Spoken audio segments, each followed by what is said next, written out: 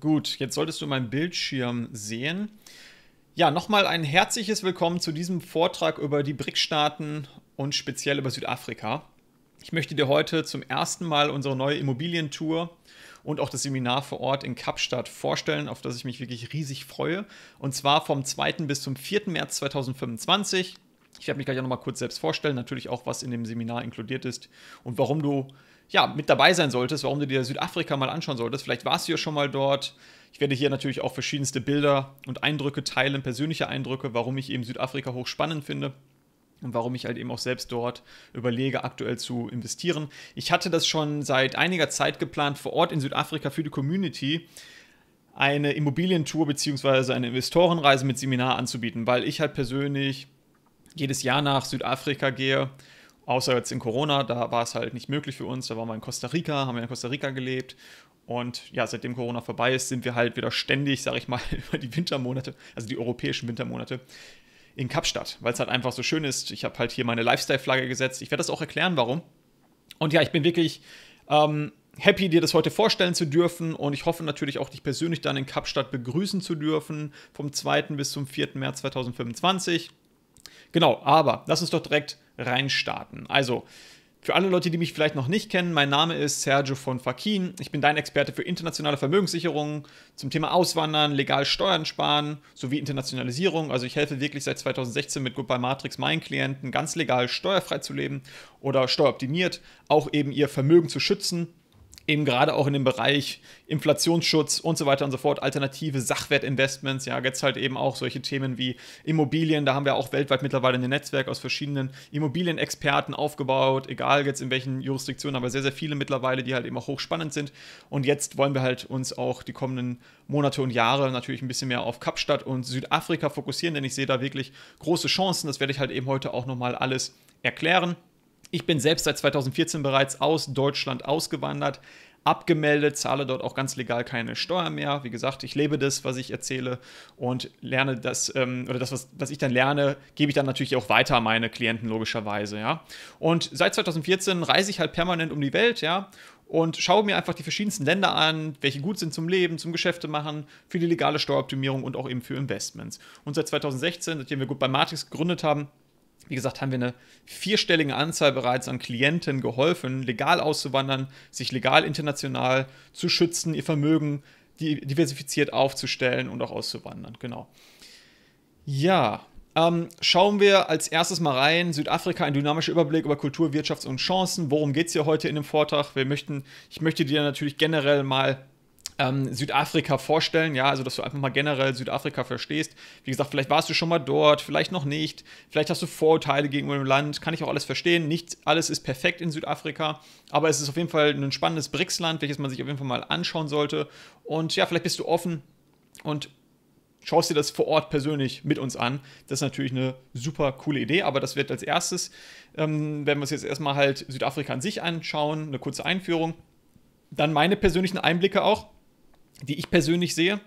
Also Vor- und Nachteile eben, wenn du in Kapstadt mal leben möchtest oder dort so wie ich auch eine Lifestyle-Flagge aufbauen möchtest. Ich kann mir halt eben vorstellen, für den Ruhestand in Zukunft dort halt eine Basis zu haben und länger zu bleiben. Aktuell bin ich ja eher Perpetual Traveler und habe zwei, drei Basen, in, sag ich mal, auf der Welt verteilt. Und ich wechsle halt immer zwischenzeitlich. Das, äh, diese Länder können sich natürlich auch wechseln, aber aktuell bin ich halt sehr stark ähm, auch in Kapstadt unterwegs, einmal im Jahr in der Regel über die Wintermonate, also die europäischen Wintermonate und überwintere äh, dort. Ja, man sagt auch, die Deutschen, die dorthin kommen, sind Schwalben. Und äh, das mache ich genauso, weil man bis zu sechs Monate mit dem Touristenvisum auch da bleiben kann. Das ist halt echt eine coole Lifestyle-Destination. Wirst du dann gleich auch alles eben ähm, sehen und äh, werde ich dir erklären, warum ich das so sehe und was hier die Vor- und Nachteile sind. Dann schauen wir uns natürlich auch an, wie du eine legale Aufenthaltsgenehmigung in Südafrika erhalten kannst und ähm, auch eins der, ist noch eins der wenigen, wenigen Länder, wo du eine permanente Aufenthaltsgenehmigung dir sichern kannst. Und dann, also die wirklich lebenslang gültig ist und du hast ganz, ganz wenige Bedingungen, die daran geknüpft sind, wie oft du nach Südafrika einreisen musst, damit du nicht mehr verlierst. Schauen wir uns gleich an. Und dann natürlich auch potenziell hier auf eine neue zweite Staatsbürgerschaft, eine doppelte Staatsbürgerschaft hinarbeiten kannst. Jetzt, wo Deutschland das hier auch zum Beispiel erlaubt hat. Die Schweizer dürfen ja auch eine weitere Staatsbürgerschaft annehmen, ohne dass sie die schweizerische verlieren. Bei den Deutschen ist es mittlerweile auch möglich, nur bei den Österreichern ähm, geht das halt aktuell so noch nicht. Die brauchen halt noch einen Beibehaltungsantrag, der relativ schwierig ist. Ja, dann schauen wir uns eben klar an, warum kann denn eigentlich eine Immobilieninvestition in Südafrika interessant sein? Darum geht es ja auch, wenn du dann zu unserer Investorenreise mit nach Südafrika kommst im März 2025. Und dann natürlich, warum solltest du an unserer Südafrika-Immobilientour dann eben noch teilnehmen und an unserem Seminar?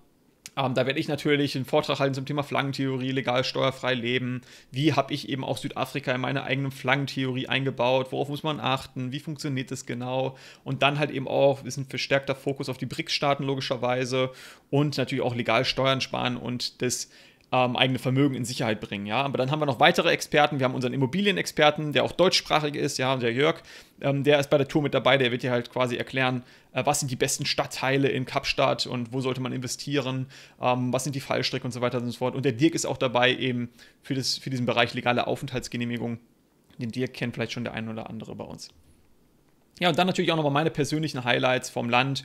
Und ich bleibe jetzt, wie gesagt, so viele Jahre dort, eigentlich fast jedes Jahr. Seit 2015, nur Corona hat es da mal einen Stopp gegeben, weil ich halt eben in Costa Rica mit meiner Familie gelebt habe und ja, nicht nach Südafrika gegangen bin in der Zeit. Aber nachdem Corona wieder vorbei war, bin ich dann auch ständig wieder nach Kapstadt gereist und werde jetzt halt natürlich auch wieder in 2024 nach Kapstadt reisen zum Ende des Jahres und dann eben im März vor Ort hoffentlich dich und deine Familie vielleicht auch treffen ja, einmal kurz von mir hier persönlich gesagt, ja, was verbindet mich denn eigentlich jetzt nochmal in Südafrika? Also Südafrika ist ein Land von erstaunlicher Vielfalt, das von pulsierenden Städten bis hin zu atemberaubenden Landschaften alles bietet. Ja, und für mich und für meine Familie ist es eben zu einer besonderen Flagge geworden, in meiner eigenen Flaggentheorie Strategie. Und da wir es halt eben seit mehreren Jahren während des europäischen Winters selber besuchen und uns wirklich sehr wohlfühlen dort. Und jedes Mal entdecken wir wirklich was Neues, ja, von der reichen Kulturgeschichte bis hin zu unglaublichen Tierwelt. Wir haben dort verschiedene Roadtrips schon gemacht in Südafrika, wirklich tausende, wirklich tausende Kilometer. Vielleicht, äh, wer sich mit Südafrika noch nicht beschäftigt hat, äh, wenn du von, vom Kapstadt runterfahren, äh, ähm, hochfahren willst, ja, die gesamte Ostküste hoch bis zum Krüger Nationalpark, dann bist du auf der schnellsten Route, glaube ich, 2000 Kilometer unterwegs. Also das Land ist riesig. Wenn du aber an der Küste entlang fährst, kannst du mal ganz easy 4000, 5000 Kilometer fahren. Habe ich schon zweimal gemacht, ja. Und äh, mega ein Abenteuer, das Land, wirklich große Vielfalt, macht richtig viel Spaß. Und ja, ich wollte es halt immer auch mal meiner Community näher bringen, weil ich halt echt gerne da bin. Und ich, es gibt ja auch sehr viele Deutsche, die, ähm, sag ich mal, über den europäischen Winter unten sich in der Kap-Region aufhalten, dort überwintern. Das sind die sogenannten Schwalben und so einer bin ich halt auch, ja. Gut, also, ähm, Südafrika bringt ein immenses Potenzial als zukünftiger oder künftiger Hotspot für Wirtschaftswachstum und Lifestyle-Möglichkeiten, meiner Meinung nach. Mit seinem Reichtum an natürlichen Ressourcen. Hm, hier ist vor allem mal Gold zu nennen, Rhodium, Platin und Palladium, also die, die Platin-Gruppen. Ähm, da produziert äh, Südafrika mit am meisten von weltweit betrachtet, ja. Und äh, Russland ist ja dann auch noch so ein Land, was von den Platin-Gruppenelementen äh, ordentlich was produziert. Und wenn man sich jetzt die BRICS-Staaten anschaut, ähm, dass die quasi einen Großteil dieser dieses Vorkommens schon in sich haben und eben halt Südafrika so einen natürlichen Reichtum an diesen, an diesen Metallen hat, ist es meiner Meinung nach relativ äh, positiv zu betrachten, denn für die industrielle Anwendungen, gerade in der, in der Automobilindustrie und so weiter und so fort, werden natürlich auch diese Platin-Gruppenelemente durchaus ähm, ja, ähm, gebraucht und, sag ich mal, die aktuelle Sanktion gegenüber Russland und so weiter und so fort macht es natürlich nicht einfacher, an diese Elemente zu kommen. Ja? Und das ist natürlich erstmal für, für die Zukunft, denke ich, sehr, sehr gut, wenn ein Land viele strategische Metalle selber schon mal hat. Ähm, und jetzt, wo halt eben auch dieser, dieser Trend da ist, wo die BRICS-Staaten und sich auch ähm, Entwicklungsländer mehr und mehr von dem Westen abkoppeln wollen, gerade von den USA, von dem US-Dollar, ähm, ist es vielleicht hochinteressant, sich auch stark auf solche Länder zu fokussieren, die ein hohen, hohes äh, Rohstoffreichtum selber schon besitzen und dadurch halt in Zukunft, in den nächsten 10, 20 Jahren vielleicht strategisch gesehen sehr, sehr wichtige Länder werden und vielleicht auch dadurch ein großes Wirtschaftswachstum nochmal sehen werden, ja. Dann natürlich, äh, Südafrika hat eine strategische Position im Welthandel deswegen, ja, durch diesen Rohstoffreichtum und ähm, ja, seiner ähm, wachsenden Rolle natürlich auch innerhalb der BRICS-Allianz, ja, gehen wir gleich nochmal ein bisschen drauf ein, ähm, ja, ist halt eben einfach ein wichtiger Akteur so gesehen auf der Weltbühne, meiner Meinung nach. Dann in Südafrika hast du sehr, sehr niedrige Lebenshaltungskosten in Verbindung mit einer posierenden Kultur und wunderschönen Landschaften, also gerade eben in, in der, in, in der Kapstadtregion untenrum. Und das bietet halt eben wirklich eine einzigartige Lebensqualität. Ich zeige das ja auch nochmal. Ja, du kannst da Golf spielen, du hast die geilsten Golfplätze, die geilsten Weingüter und so weiter und so fort. Und ähm, wenn du das quasi, was du da an Lebensqualität letztendlich bekommst, das rein mit Europa teilweise vergleichen willst, dann merkt man, wenn man mal längere Zeit da war, hey, ähm, für das, was ich hier bezahle, was ich geboten bekomme, das kann ich so, diesen Lifestyle könnte ich in Europa zum Beispiel gar nicht aufrechterhalten, ja, oder sehr, sehr schwierig. Ähm, ja, dann, dann das Land hat weiterhin in Infrastruktur und in Innovation investiert. Schauen wir uns gleich noch ein paar Punkte zu an. Und so positioniert sich Südafrika als ideales Reiseziel für alle, die sich in einem rasch entwickelnden Umfeld nach Möglichkeiten und aber, äh, Abenteuern suchen. Ähm, obwohl Südafrika heute mit einigen Herausforderungen konfrontiert ist, gehen wir natürlich gleich auch noch drauf ähm, ein, blicke ich generell optimistisch auf die Zukunft. Südafrika hat ähm, die am wichtigsten entwickelte und diversifizierteste, technologisch fortgeschrittenste und industriell integrierte, äh, integrierte Wirtschaft auf dem gesamten afrikanischen Kontinent. Ja, hier siehst du das ist auch nochmal kurz. Also das sind die afrikanischen Länder mit dem höchsten Bruttoinlandprodukt, BIP, im Jahr 2024. Südafrika ist hier auf Platz 1, danach kommt dann Ägypten. Aber Ägypten, ich war jetzt auch schon ein paar Mal dort, finde ich jetzt nicht so spannend. Kairo, klar, da kann man auch so ein Citizenship Investment machen. Ähm, ist sicherlich auch vielleicht Plan D, Plan E, sowas irgendwie kann halt schon interessant sein, durchaus. Aber wenn ich darüber nachdenke, in, in Afrika zu ähm, investieren, da gibt es eigentlich sehr, sehr wenige Länder. Es gibt auch noch so Länder wie äh, Ruanda und, und andere, ja. Ähm, aber Südafrika als größte Wirtschaft auf dem afrikanischen Kontinent ähm, ist da vielleicht erstmal dann am Anfang auch am einleuchtesten. Ja, zehn Gründe schauen wir uns das einfach mal an, warum Südafrika ein attraktives Investitionsziel sein kann.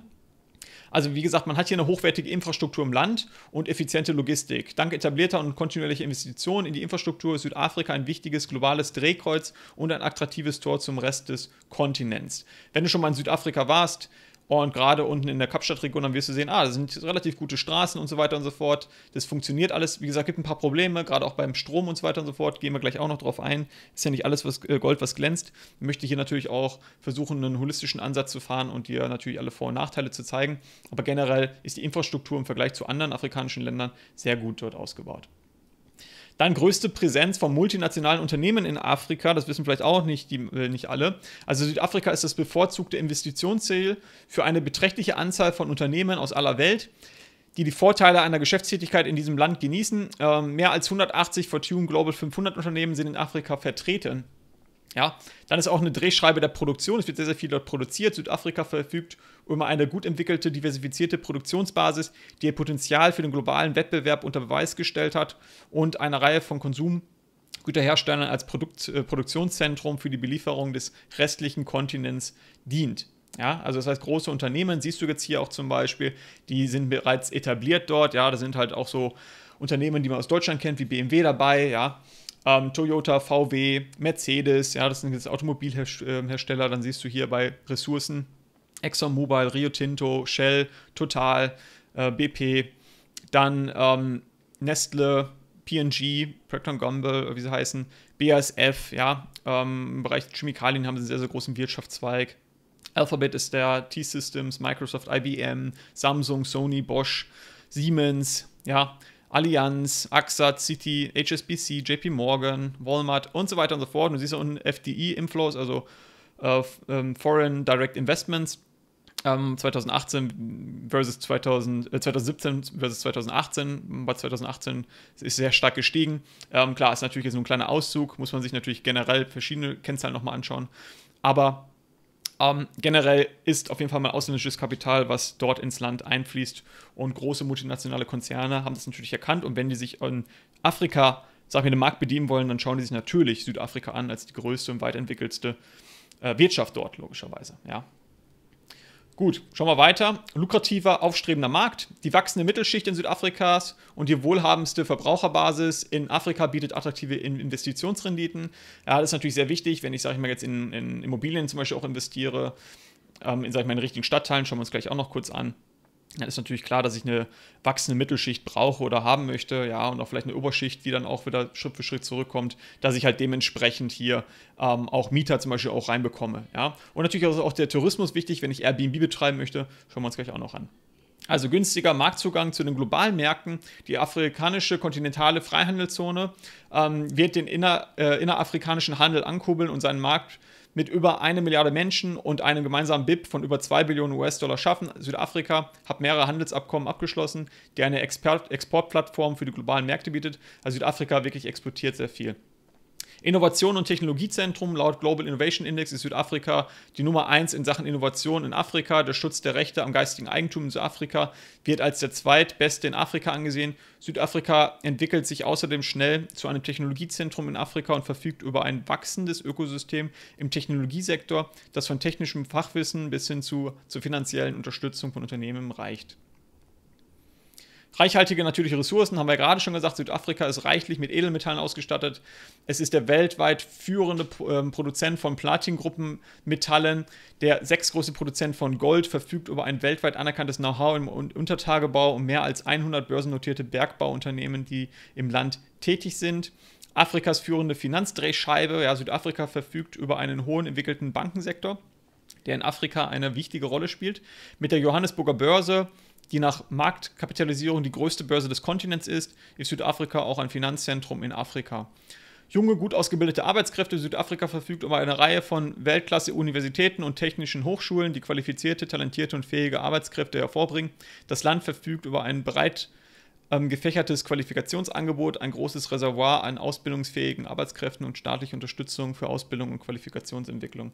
Also mh, ist natürlich auch so, dass einige Leute abwandern natürlich von den, von den jungen Menschen, aber die kommen dann teilweise auch wieder zurück nach ein paar Jahren, wenn sie Geld verdient haben, weil sie auch merken, hey, ähm, dann vielleicht in Europa ist dann doch nicht so schön und ich habe vielleicht ein besseres Leben in äh, Südafrika, in, in Kapstadt, ja. Aber da gehen wir gleich noch drauf ein. Dann der letzte Grund, ausgezeichnete Lebensqualität. Südafrika ist für seine Lebensqualität bekannt und bietet sowohl hochwertige Stadterlebnisse als auch ruhige und atemberaubende Landschaften.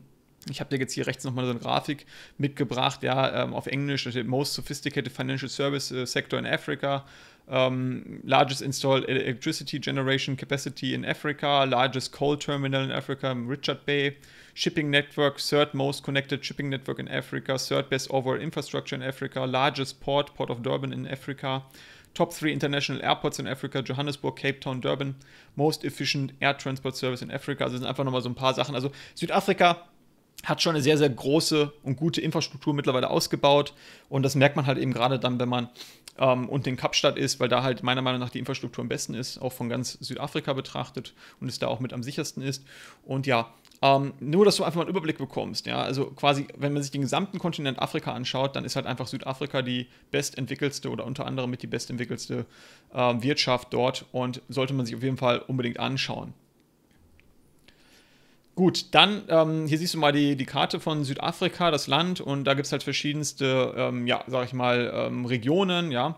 Und klar, ähm, Gauteng, vielleicht schon mal gehört, das ist quasi Johannesburg und Pretoria, das ist quasi die Region, was das Finanzzentrum, könnte man so sagen, äh, ist von Südafrika. Und Pretoria und ähm, diese Region Gauteng hat halt eben 34 Prozent vom Bruttoinlandsprodukt oder trägt dazu bei. Ja, also ist so gesehen die wichtigste Region von ganz Südafrika. Und dann hast du KwaZulu-Natal, da ist dieser ähm, Hafen in Durban, ähm, den wir gerade angesprochen hatten. Und deswegen ist das quasi auf Platz 2 mit 16 Prozent ja, ähm, von der Wirtschaftsleistung Südafrikas, trägt dazu bei. Und dann kommt schon Western Cape, also das Westkap. Und das ist die drittwichtigste Region mit einem Beitrag von 14 Prozent zum BIP von Südafrika. Also du siehst, mit 16 Prozent äh, tut sich jetzt nicht mehr viel. Und ähm, wir sehen jetzt hier auch, das möchte ich hier ähm, ansprechen, warum ich denke, was halt jetzt in den kommenden Jahren ganz spannend ist.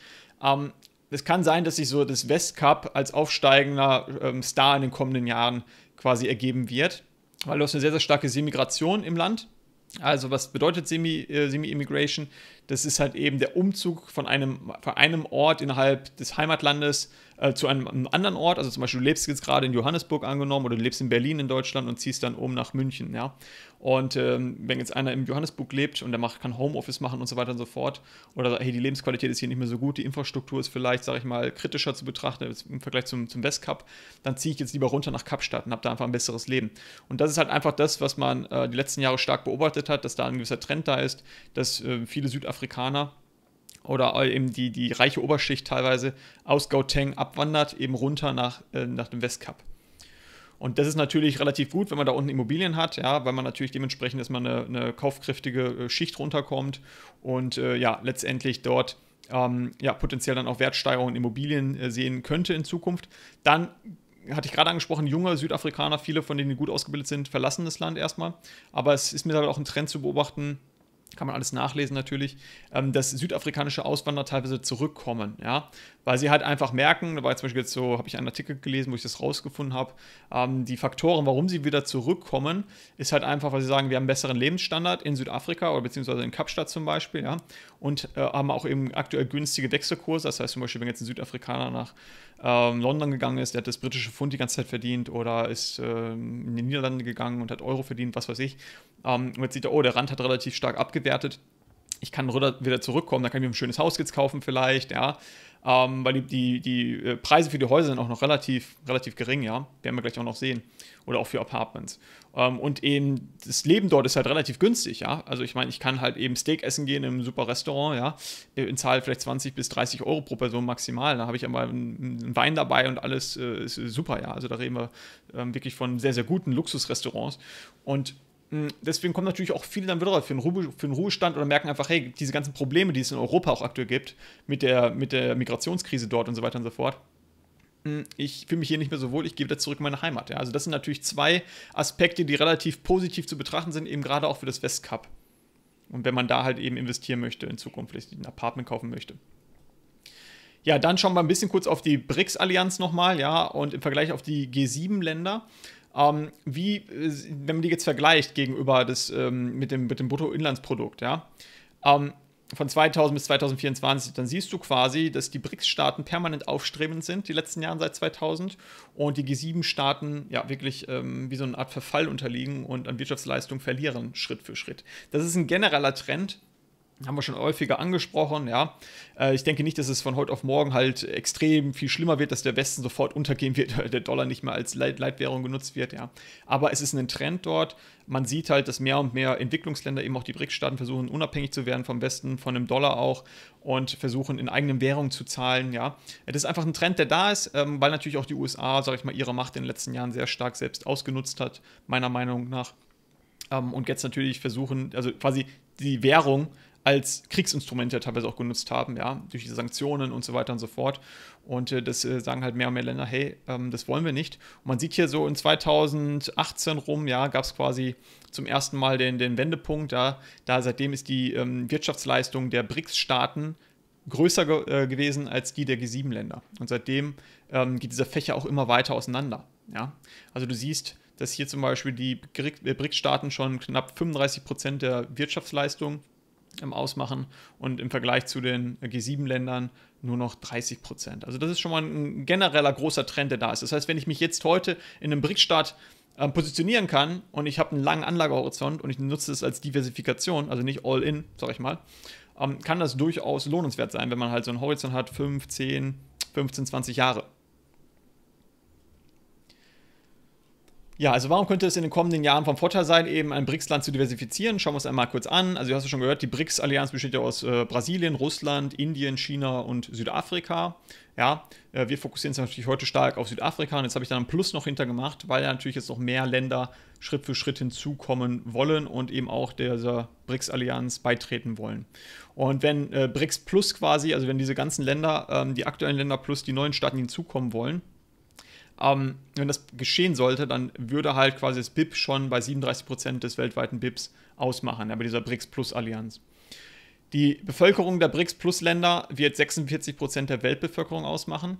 Die BRICS Plus Gruppe würde 44,35% der weltweiten Ölreserven besitzen, wenn angemerkt, ja, wohl angemerkt, wenn Argentinien, Ägypten, Iran, die Vereinigten äh, äh, Arabischen Emirate, Saudi-Arabien und Äthiopien beitreten würden. So, jetzt kann man selbst sagen, okay, wie äh, äh, groß die Wahrscheinlichkeit, dass das passieren wird, kann man jetzt schlecht sagen. Aber ähm, viele Länder sind ja schon in Gesprächen, teilweise sind sie schon beigetreten. Und es ist auf jeden Fall interessant, auch heute schon besitzen sie natürlich einen großen Anteil von diesen Ölreserven. Die BRICS-Länder bedecken jetzt 48,5 Millionen Quadratkilometer oder 36 Prozent der Landfläche der Erde. Und dann ist auch was ganz Neues, vielleicht hat sich der eine oder andere damit schon mal beschäftigt. Es gibt dieses neue BRICS Pay, was jetzt halt Schritt für Schritt ausgerollt werden soll. Und da ähm, ja, laut eigenen Zahlen sagen, gibt es bereits 159 Teilnehmer, also nicht falsch verstehen, es sind nicht 159 Staaten, sondern generell 159 Teilnehmer, wurde noch nicht genau spezifiziert. Aber das ist hochspannend, dass die äh, BRICS-Staaten ja, quasi so ein Blockchain-basiertes Zahlungssystem aufbauen, womit sie quasi komplett unabhängig von dem SWIFT-System agieren können. Und dadurch kann dann zum Beispiel Brasilien direkt Geld nach Südafrika senden oder Südafrika direkt nach Russland oder nach Indien, ähm, ohne dass da irgendwie der Westen bzw. die USA noch irgendeine Kontrolle drüber hat oder Sanktionen verhängen kann. Und ich denke, dafür wurde das halt eben auch entwickelt, dass sie komplett unabhängig ähm, werden ähm, sehr, sehr spannend und wenn das wirklich ausgerollt wird und wirklich genutzt wird, denke ich, wird es halt natürlich in den kommenden Jahren mehr da nochmal zu beitragen, dass der Dollar natürlich weniger genutzt wird, aber die eigenen ähm, Staaten in diesem BRICS-Block natürlich auch stark gefördert werden. Dann ist ja auch immer wieder eine Diskussion, ja, wo gibt es denn, also wie kann man denn quasi die Superreichen oder die Reichen generell mehr besteuern und wo gibt es was zu holen? Das ist ja auch mal so eine wichtige Frage, die man sich stellen muss. In welcher Region der Welt wäre eine Vermögensteuer für Reiche am sinnvollsten? Das heißt, wenn ich mich jetzt irgendwo positionieren möchte in den kommenden Jahren, ähm, wo sind Staaten, wo gibt es für die Staaten am meisten zu holen rein theoretisch, dass halt eben da auch die Wahrscheinlichkeit viel höher ist, dass so eine Art äh, Vermögensteuer kommt und eine Reichensteuer, ja. Äh, man sieht hier zum Beispiel, ähm, dass Europa, Nordamerika, Ostasien und ähm, Südostasien natürlich extrem davon profitieren würde. Ja, also diese Staaten dort, wenn sie quasi so eine Reichen- oder Vermögensteuer einführen würde, auch Lateinamerika und Russland und Zentralasien würde davon durchaus profitieren. Wenn man sich jetzt äh, anschaut, Subsahara-Afrika und Middle East, North Africa, also Subsahara-Afrika, wozu dann ja auch letztendlich ähm, ja, Südafrika zählen würde, da gibt es am wenigsten zu holen. Also es ist einfach nur mal strategisch zum Nachdenken, okay, wie hoch wäre jetzt hier die Wahrscheinlichkeit, dass da irgendwas gemacht wird in den kommenden Jahren, sehe ich halt erstmal als relativ unwahrscheinlich. Deswegen ist das vielleicht auch eben als Fluchtort potenziell mal ähm, interessant. Schauen wir uns jetzt einmal kurz die persönlichen Einblicke von mir an, ja, die Vor- und Nachteile des Lebens in Kapstadt. Hier auf der linken Seite siehst du zum Beispiel ein Haus, was wir mal gemietet haben, vor Ort, ja, in äh, Somerset West mit Blick rüber zum Tafelberg. Den sieht man da ganz hinten am Horizont, auch Blick auf, den Gesamt, auf die gesamte Bucht. Also da sieht man so ein bisschen das Meer. Ähm, du siehst die Häuser, ja, sauber, schön. Ähm, Infrastruktur ist sehr, sehr schön dort. Es ist eine gated Community, ist super sicher. Das heißt, es ist quasi umzäunt, würde man so sagen. Es ist halt eine gated Community, so wie man es auch vielleicht aus anderen Ländern, kennt.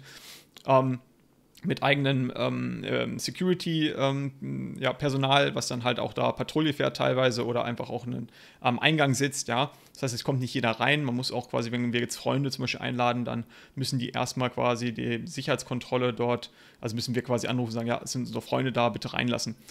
Und ähm, ja, du siehst, das ist schon mal sehr schön. Und auf der rechten Seite siehst du zum Beispiel das ähm, Weingut, ja, wo ich sehr gerne in Constantia auch bin oder in Constantia. Das ist ein Stadtteil in Kapstadt, äh, wirklich ein sehr, sehr schöner Stadtteil, wo auch mehr die Oberschicht lebt, wo es auch viele Weingüter gibt. Und das ist Bürtenverwachting, ähm, wirklich ein sehr, sehr schönes Weingut, auch so, soweit ich weiß, von Deutschen. Ähm, also ich kenne auf jeden Fall den Sohn des, des Inhabers, habe ich mal getroffen und der spricht Deutsch. Also ich gehe mal davon aus, dass sie Deutsche sind, aber ich bin mir jetzt nicht ganz sicher, nicht, dass ich was Falsches sage. aber traumhaft schönes Weingut. Wenn du mal da bist, unbedingt besuchen. Bürtenverwachting oder Butenverwachting, ich weiß nicht, wie man es ausspricht. Sehr, sehr schön ja, die Vorteile des Lebens in Kapstadt, warum es meine Lifestyle-Flagge wurde. Hm, sehr wichtig jetzt zu verstehen, ist eine Lifestyle-Flagge für mich. Es gibt ja verschiedenste Flaggen in der Flaggentheorie. Um, ähm, es gibt eine, einen Steuerwohnsitz als Flagge vielleicht, es gibt eine Wohnsitzflagge, es gibt eine Lifestyle-Flagge, ja, und so weiter und so fort, eine Bankenflagge, ähm, Auslandsunternehmenflagge. Für mich ist Südafrika, Kapstadt aktuell sehr stark eine Lifestyle-Flagge geworden. Das heißt, ich finde dort einfach genau das, was, was ich gerne mag, ja. Ähm, da kann ich einfach meinen Lifestyle sehr gut ausleben und fühle mich da sehr wohl, ja. Deswegen ist es meine Lifestyle-Flagge geworden. Wie gesagt, das kann sich in Zukunft vielleicht zum äh, Ruhestandsflagge ähm, umändern, ja, oder auch vielleicht mehr, sage ich mal, eine Flagge werden, äh, wo ich länger lebe. Aktuell ist es mir eine Lifestyle-Flagge bis zu sechs Monate im Jahr, dass ich mich dann halt auch teilweise da aufhalte. Was finde ich persönlich jetzt ganz toll an Kapstadt, ist die atemberaubende natürliche Schönheit von Kapstadt. Ja, das ist wirklich, ähm, du hast da atemberaubende Landschaften und klar, es fängt an beim kultigen Tafelberg, den da vielleicht jeder schon mal gesehen hat oder kennt, ja, bis hin zu den unberührten Stränden und malerischen Weinbergen. Es ist wirklich ein Paradies für Outdoor-Fans, wenn du viel draußen bist, wenn du was erleben willst. Das ist einfach wirklich traumhaft schön, ja. Hier siehst du das ähm, mit den Bergen in der Umgebung, den wunderschönen Blumen, die alle blühen und es ist wirklich äh, ein Traumhaft. Dann hast du halt überall diese alten Dutch, äh, Dutch Colonial Houses, ja, also die alten Kol Kolonialhäuser dort von den, von den Niederländern, ähm, die man besuchen kann. mit den riesen Anlagen, mit den Weingütern, die alles so top gepflegt sind, ja. Also es ist wirklich, äh, wirklich toll, ja. Es macht wirklich äh, Spaß, ja, in den richtigen äh, Regionen äh, sich dort aufzuhalten. Äh, wie gesagt, es gibt natürlich auch ein paar Drawbacks, äh, gehe ich gleich drauf ein. Ähm, es gibt ja eben Viertel, die sind halt diese Armutsviertel, da, da kann man sich natürlich nicht aufhalten, so gesehen, ja. Da ist halt natürlich auch hohes Risiko. Aber wenn man sich in den richtigen Stadtteilen und richtigen Vierteln auffällt, ähm, dann hat man in der Regel gar keine Probleme. Es ist wunderschön. Ähm, angenehmes Klima mit wilden, milden Wintern und warmen, trockenen Sommern bietet die Stadt ein angenehmes mediterranes Klima, was ja auch wirklich sehr wichtig ist. Manche sagen meine Klienten, hey, äh, ich kann einfach gar nicht in den Tropen leben, es ist mir viel zu heiß, ja, oder irgendwo in Dubai, das ist mir auch viel zu heiß dann in gewissen Jahreszeiten. Ähm, und sage ich mal, Kapstadt ist wirklich vergleichbar mit dem deutschen Klima, könnte man so sagen, ist ein milder natürlich. Ähm, aber es ist wirklich sehr angenehm dort. Also das heißt, man, find, man, man, fühlt sich vielleicht eher wie zu Hause, ja, würde ich mal so sagen. Und der Winter ist in der Regel halt eben mild und ist nicht so super, ähm, super kalt, ja, wie es vielleicht in Deutschland auch mal sein kann oder auch in der Schweiz, in Österreich. Und ähm, Wobei auch die Winter dort stark sein können und auch kalt sind. Das heißt, im Winter sind die meisten dann auch erstmal weg für zwei, drei Monate in den schlechtesten Monaten. Und da kann man dann gut natürlich auch die Familie nochmal besuchen, in Europa zum Beispiel oder irgendwo anders hingehen. Deswegen ist es für mich auch aktuell eher eine Lifestyle-Flagge über den europäischen Winter geworden, wenn da Sommer ist und ich mich dann da aufhalten kann, weil das Klima auch sehr gut ist zu der Zeit. Ja. Dann erschwingliche Lebenshaltungskosten im Vergleich zu vielen Großstädten in Europa oder auch den USA oder auch natürlich in Zentralamerika oder Lateinamerika sind die Lebenshaltungskosten in Kapstadt relativ niedrig, vor allem in Bezug auf Wohnen und Essen gehen.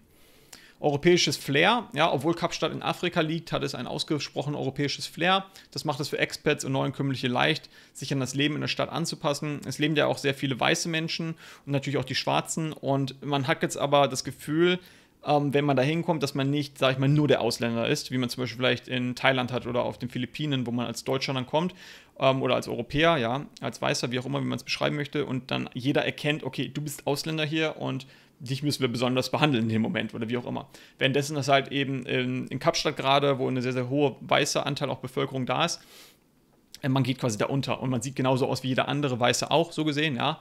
Und äh, quasi, man wird da nicht bevorzugt oder, oder schlechter oder wie auch immer behandelt. Ja. Das ist halt eben mal eine wichtige Sache. Und dadurch, klar, durch den, durch den kolonialen Hintergrund ist natürlich auch noch viel da geblieben ähm, an, an europäischer Kultur.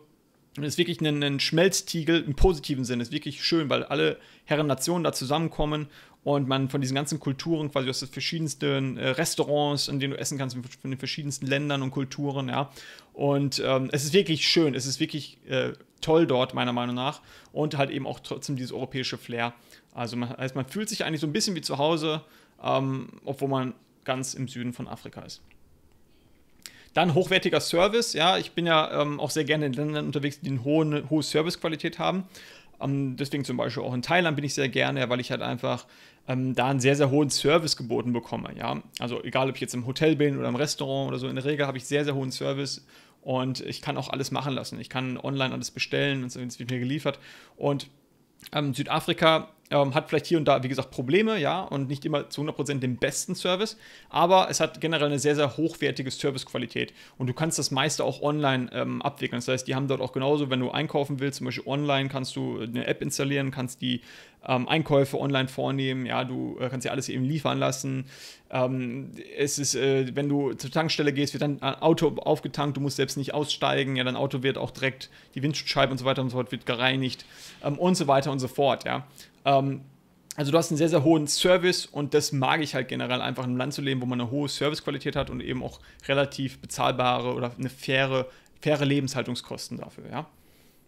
Hier siehst du es zum Beispiel, ja, da ähm, sind wir in einem unserer Lieblings-Fünf-Sterne-Hotels, da wo auch das Seminar stattfinden wird, jetzt hier auf der linken Seite. Ja, da haben wir einen High-Tea einfach mal gebucht und äh, ja, kommst dann ähm, vormittags quasi in das, in, das, in das äh, Hotel rein, in das Restaurant, ähm, kriegst einen Champagner serviert, ja, also in Lokalen natürlich, äh, also ähm, Schaumwein und äh, verschiedenste Delikatessen, die man essen kann für ein High Tea, ja, ähm, Teekanne. Ähm, sehr, sehr hochwertige Qualität alles. Es ist nicht so, dass das Essen da schlecht ist oder der Wein schlecht ist. Es ist alles wirklich sehr, sehr hochwertig. Und der Service ist gut und es macht halt einfach Spaß. Ja, auf der rechten Seite siehst du zum Hauptbay, waren wir an der Promenade, haben dort äh, Muscheln gegessen. Ähm, klar, die haben dort Muscheln, die haben auch Austern dort. Das heißt, wenn man Fischfan ist, ist natürlich auch ein Traum in, in Südafrika. Ist ja der große Ozean vor der Tür. Also, das ist wirklich sehr, sehr cool. angenehme Lebensqualität zu bezahlbaren Preisen und du kannst wirklich jeden Tag so gesehen rausgehen zum Essen. Und ähm, das ist halt eben das, was wir auch, was ich wirklich genieße und was ich schön finde in, in, in Kapstadt und Südafrika. Und ähm, auch die Fleischqualität für alle Leute, die, die Fleisch mögen. Ähm, du kriegst da die weltbesten Steaks, meiner Meinung nach, ja. Und es kostet einfach nichts. Ähm, das ist genauso wie auch, wie gesagt, in Südostasien, da kannst du ja auch relativ günstig teilweise essen gehen, ja, wenn du in Thailand bist oder so, so gute Küche. Südafrika hat eine sehr, sehr gute Küche und bezahlbar mit hoher Servicequalität. Dann, klar, auch sehr wichtig, Aktivität im Freien. Ja, du willst vielleicht nicht nur die ganze Zeit drin hocken, sondern du willst mal äh, wandern gehen, du willst surfen gehen, ja, da fürs wirklich Südafrika oder Kapstadt ja bekannt fürs Surfen, fürs Kitesurfen auch. Dann Golf spielen, die haben richtig genial schöne Golfplätze, ähm, super gepflegt und auch sehr, sehr günstig dort Golf zu spielen und auch Golf zu lernen. Woher weiß ich das, weil ich das selbst mache? Ähm, dann Weintouren kannst du da machen, du kannst Safaris machen im Land verteilt, ja, du hast ja überall die Private Lodges auch. Es gibt so viele Naturaktivitäten, die du machen kannst und das ist halt eben auch für Kinder super interessant, ja, wenn du halt quasi Kinder hast, du willst mit denen irgendwo hingehen in der Natur, die sind auch sehr kinderfreundlich dort, die Südafrikaner, die lieben Kinder. Das ist genauso eins der kinderfreundlichsten Länder, in denen ich bis jetzt gelebt habe, war ähm, Costa Rica. Und da sind die auch, da lieben die Kinder, ja. Also das ist einfach ein Traum, äh, wenn man halt Kinder hat. Und ähm, Südafrika, da sind die Menschen auch noch offen für, für Kiddies, ja, und, und freuen sich darüber, ja. Äh, während das halt vielleicht in, in Zentraleuropa schon teilweise ganz anders aussieht, ja. Ähm, aber klar, du kannst auch da als Single das super ähm, genießen, logischerweise, ja. Also du hast wirklich, wenn du abenteuerlustig bist und Natur liebst, Außenaktivitäten, ist halt einfach äh, Cup äh, traumhaft schön. Ja, hier siehst du es, äh, diejenigen die von euch Golf spielen, die werden jetzt wahrscheinlich jetzt lachen, aber das war unsere erste ähm, Golfstunde quasi oder wo wir mal gelernt haben, einfach mal zum Reinfühlen, ist es was für uns, deswegen auch noch kein richtiges Golf-Outfit. Aber ähm, ja, äh, man kann dort wirklich auch Golf spielen lernen, auf wirklich bezahlbaren Preisen und super, super Golfplätze. Auch Europäer kommen wirklich dahin, ja, um äh, wirklich Golf zu spielen und es gibt ja auch wirklich bekannte, ähm, ja, berühmte Persönlichkeiten, die, die, äh, also weltweit die gute Golfspieler sind, die daherkommen aus Südafrika. Also wer gerne Golf, Golf spielt zum Beispiel, findet in Südafrika da unten in der Kap-Region wirklich auch einen Traum vor. Ja, dann hier siehst du ähm, diese vielfältige Kultur, ja. Ähm, also Kapstadt verfügt über ein reichhaltiges kulturelles Erbe mit einer Mischung aus verschiedenen Gemeinschaften, Sprachen, Traditionen. Ähm, die Stadt ist zu einem posierenden Ort zum Leben ähm, geworden, ja, und äh, das, das macht es halt wirklich auch aus. Du kannst dich da mit den Schwarzen genauso treffen und unterhalten wie mit den Weißen und mit allen anderen Nationen, die da quasi vor Ort zusammenkommen. Die Leute vor Ort sind wirklich sehr, sehr freundlich und immer hilfsbereit, ja, sind sehr, sehr herzlich. Also ich habe Gastfreundschaft ähm, da nie Probleme gehabt. Ja, das hat wirklich immer, ich habe mich wirklich wie zu Hause gefühlt. Klar, wir gehen gleich darauf ein, es gibt ein paar Sachen, die man beachten muss. Es ist nicht alles Gold, was glänzt. Es gibt ein paar äh, Sicherheitsaspekte, die man beachten muss. Aber generell, ähm, normalerweise, die, die Menschen sind da sehr freundlich und, und gastfreundlich und offen. Und man kann wirklich richtig Spaß haben mit allen zusammen. Ja, dann ist es natürlich auch weit weg von Europa, ja. Also für alle Leute, die gesagt haben, ein bisschen mehr ja, sag ich mal, Angst haben oder schon so spüren, hm, dass wie das in Europa da aktuell mit, dem, mit der politischen Instabilität äh, vor sich geht und mit den militärischen Konflikten, mit denen man da konfrontiert ist und so weiter und so fort, ist natürlich Südafrika hier potenziell, sag ich mal, ein friedlicher Zufluchtsort, der weit weg ist, ja, von solchen Spannungen. Das heißt, da ist man erstmal ein paar 10.000 Kilometer oder ein paar tausend Kilometer weg. Und ähm, das, wenn man da ist vor Ort, hat man eben halt auch eben das Gefühl, hey, ich bin hier sicher. Ja, hier ist äh, einfach stabiler jetzt im Moment sicher und hier kommt jetzt nicht der Krieg hin, rein theoretisch, wenn er dann in Europa ausbrechen sollte oder sowas, ja. Ähm, Südafrika hat mit eigenen politischen Problemen teilweise auch zu kämpfen.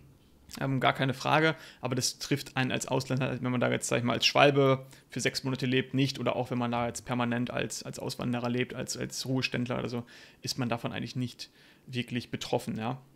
Aber es ist natürlich super, super einfach, wieder zurück nach Hause zu kommen, denn es gibt super viele Deutsche und Europäer, die natürlich ähm, jedes Jahr Südafrika und Kapstadt und auch Johannesburg besuchen. Es gibt Direktflüge, ja.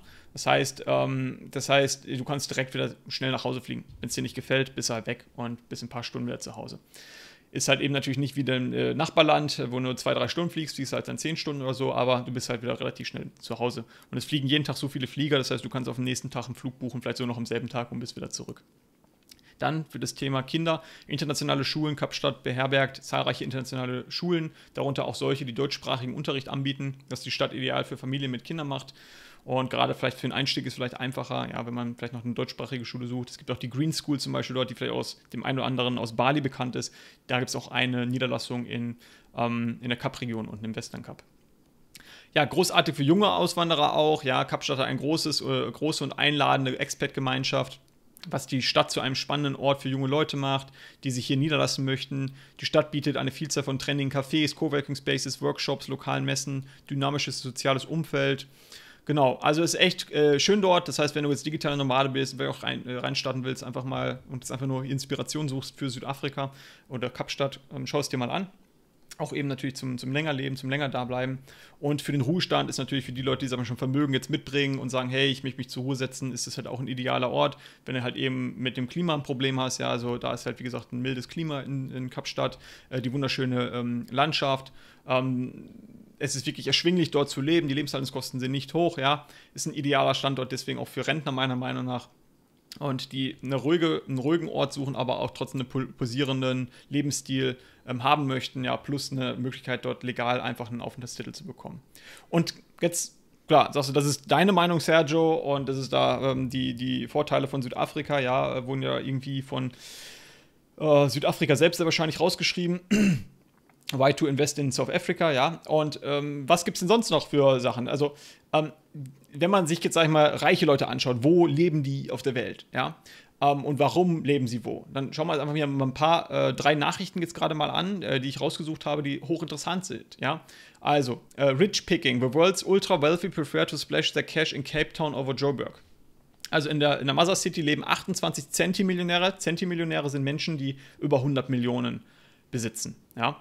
Und es werden noch mehr erwartet, da sich die Geografie des ex extremen Wohlstands weltweit verschiebt. Also du siehst, es gibt einen Trend. Das heißt, Reiche migrieren auch und sagen, hey, wir gehen hier in, weiß ich nicht, da und da ist es nicht mehr gut, wir gehen jetzt da und dahin. Da gibt es natürlich Hotspots, klar, Singapur und, und Dubai und so weiter und so fort, die natürlich extrem viele anziehen.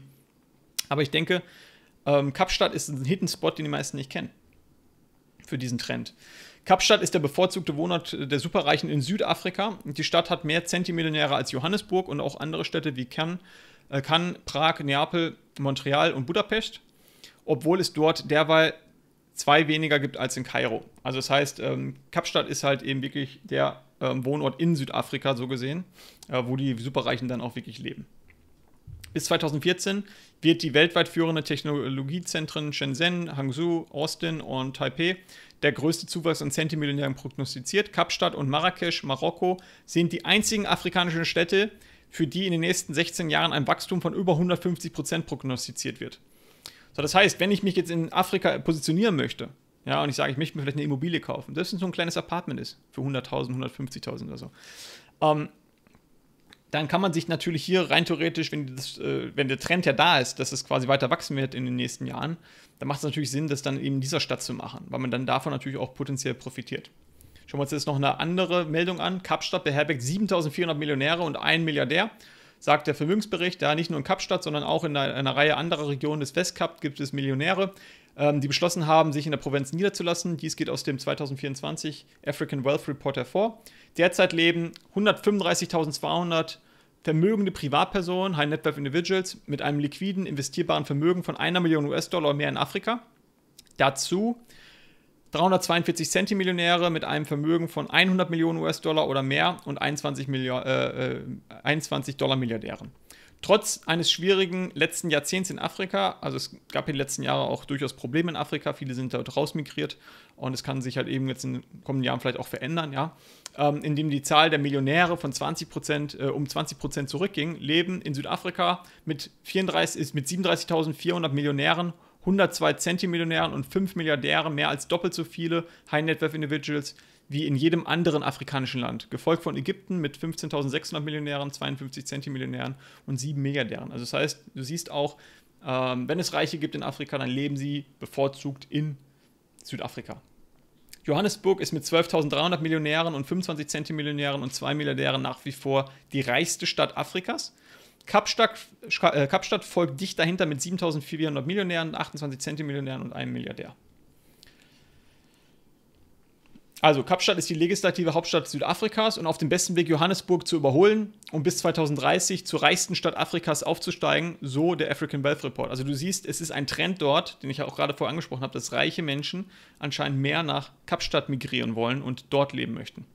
Der Bericht weist darauf hin, dass Kapstadt derzeit von den, anhaltender, äh, von den anhaltenden Semigration zahlreicher vermögender Privatpersonen aus den Teilen Südafrikas, besonders aus Johannesburg und Pretoria, profitiert. Die Stadt ist auch ein zunehmend beliebtes äh, Ruhestandsziel für abwandernde, abwandernde Millionäre aus Europa und dem übrigen Afrika. Also das heißt, ihr seht auch ähm, aus anderen Ländern kommen die Millionäre teilweise runter nach Kapstadt. Weil wenn du einmal da warst und das selbst erlebt hast, dann wirst du vielleicht auch merken, hm, die Lebensqualität ist hier schon wirklich sehr hoch. Und wenn man das mag und wenn man mit den Nachteilen zurechtkommt, die es da gibt an diesem Ort, ist es wirklich ein richtig geiler Ort, um gut sein Leben zu genießen nicht, also jedes Land hat seine Vor- und Nachteile. Ja, also es ist ganz egal, wo du hingehst, überall gibt es Nachteile. Und genauso hat natürlich auch eben Südafrika oder Kapstadt seine Nachteile. Aber du musst halt eben für dich das Perfekte finden, wo du sagst, hier fühle ich mich wohl. Und du, man sollte auch meiner Meinung nach offen sein, mal was Neues auszuprobieren. Wenn du noch nie da warst und jetzt haben wir so eine Tour, hey, komm doch mal vorbei und schau es dir selber an vor Ort. Schauen wir jetzt kurz nochmal hier die äh, Karte an. Ja, where do the ultra wealthy live? Ja, das heißt jetzt Ultra High Net Worth Individuals, das sind Menschen mit über 30 Millionen Vermögen. So, du siehst, die meisten leben in den USA, in Kanada, in Europa, dann natürlich in Asien, in Südostasien, Australien, Neuseeland. Aber komischerweise ist nichts hier auf der Karte in Südamerika verzeichnet oder Mittelamerika, weil es halt einfach da die Zahlen so gering sind. Und in Afrika ist auch fast nichts verzeichnet, nur ganz unten in Südafrika. Ja, also wenigstens noch auf dieser Map wurde noch Südafrika mit, ähm, mit aufgenommen, weil halt einfach da ein Hub ist und es manche reiche Menschen einfach anzieht, ja. Die Nachteile des Lebens in Südafrika oder in Kapstadt, klar, Sicherheitsprobleme, obwohl Kapstadt im Allgemeinen ein sicherer Ort zum Leben ist, kann in einigen Gebieten besonders Vorsicht geboten sein. Es ist wichtig, dass die Einwohner auf ihre Umgebung achten und vernünftige Vorsichtsmaßnahmen treffen, um ihre Sicherheit zu gewährleisten. Also ich sage immer so, hey Leute, erstmal geht nicht in ein Township oder nur einer, mit einer geführten Führung, wenn ihr das sehen wollt. Ähm, alleine niemals. Und dann lauft halt auch nicht rum mit eurer Gucci- und Prada-Tasche oder mit einer Rolex um der Hand, ja. Das sind natürlich alles Sachen oder einer Goldkette um. Das sind natürlich alles Sachen, da muss ich meinen gesunden Menschenverstand äh, benutzen. Das mache ich in den wenigsten Entwicklungsländern. Ja, nur da, wo es halt wirklich, wo ich weiß, dass ich 100% sicher bin. Und in Südafrika mache ich das halt schon mal gar nicht. Ja, also das ist natürlich klar. Aber das brauche ich auch nicht. Ich muss nicht mit meinem Rolex rumlaufen, ja, oder mit meiner Goldkette, die 10.000 Euro kostet. Ähm, also das, äh, darauf kann man auch rein theoretisch verzichten. So, wenn man es nicht kann, dann gehst du halt nach Singapur, dann gehst du halt nach äh, Hongkong oder dann gehst du halt nach Dubai oder so. Ja, gehst du halt in andere Länder. Oder in Thailand vielleicht auch noch. So, begrenzte öffentliche Verkehrsmittel. So, wenn du sagst, hey, ich möchte gerne mit, mit einem öffentlichen fahren, so, ist halt einfach dort in der Region sehr schwierig. Ähm, ich sage immer, hey Leute, wenn ihr kommt, jetzt auch wenn ihr zu einem Seminar kommt mit, von uns, bitte holt euch Mietwagen. So, damit seid ihr am mobilsten. Fertig, ja. Aber die Autos sind auch sehr günstig dort unten. Das heißt, wenn man dorthin zieht, äh, kostet das nicht, sich so ein Auto zu kaufen. Ja. Einkommensungleichheit, ja, in der Stadt gibt es eine große Kluft zwischen wohlhabenden und ärmeren Vierteln, was zu sozialen Spannungen führen kann. Generell musst du damit zurechtkommen, dass es halt wirklich sehr äh, arme Menschen gibt. Und dann halt eben diese große Kluft zwischen Mittelstand und, und Reichen, die dann dazwischen hängt. Ähm, und manche können damit leben, andere nicht, ja. Ähm, das ist halt schon so gesehen ein Nachteil, den man hat. Ähm, dann meiner Meinung nach hat halt eben auch das Westcup, die gesamte Westcup-Region mit die höchste Lebensqualität. Das heißt, wenn man nach Südafrika auswandern möchte oder eine Basis aufbauen möchte, dann eine Flagge setzen will, ähm, auch ein paar Monate vielleicht nur im Jahr. Ich persönlich würde immer nur Kapstadt und die und Garden Route vielleicht noch oder sowas, also Westcup bevorzugen. Ähm, alles andere sehe ich sehr, sehr kritisch und ähm, ja, hat nicht so eine hohe Lebensqualität, auch Infrastrukturprobleme teilweise. Das merkt man, wenn man ein bisschen durchs Land fährt und so, ähm, dass halt wirklich die Kap-Region unten ähm, die höchst entwickelste ist und auch da man den höchsten Lebensstandard hat und das da auch teilweise dann mit am sichersten ist.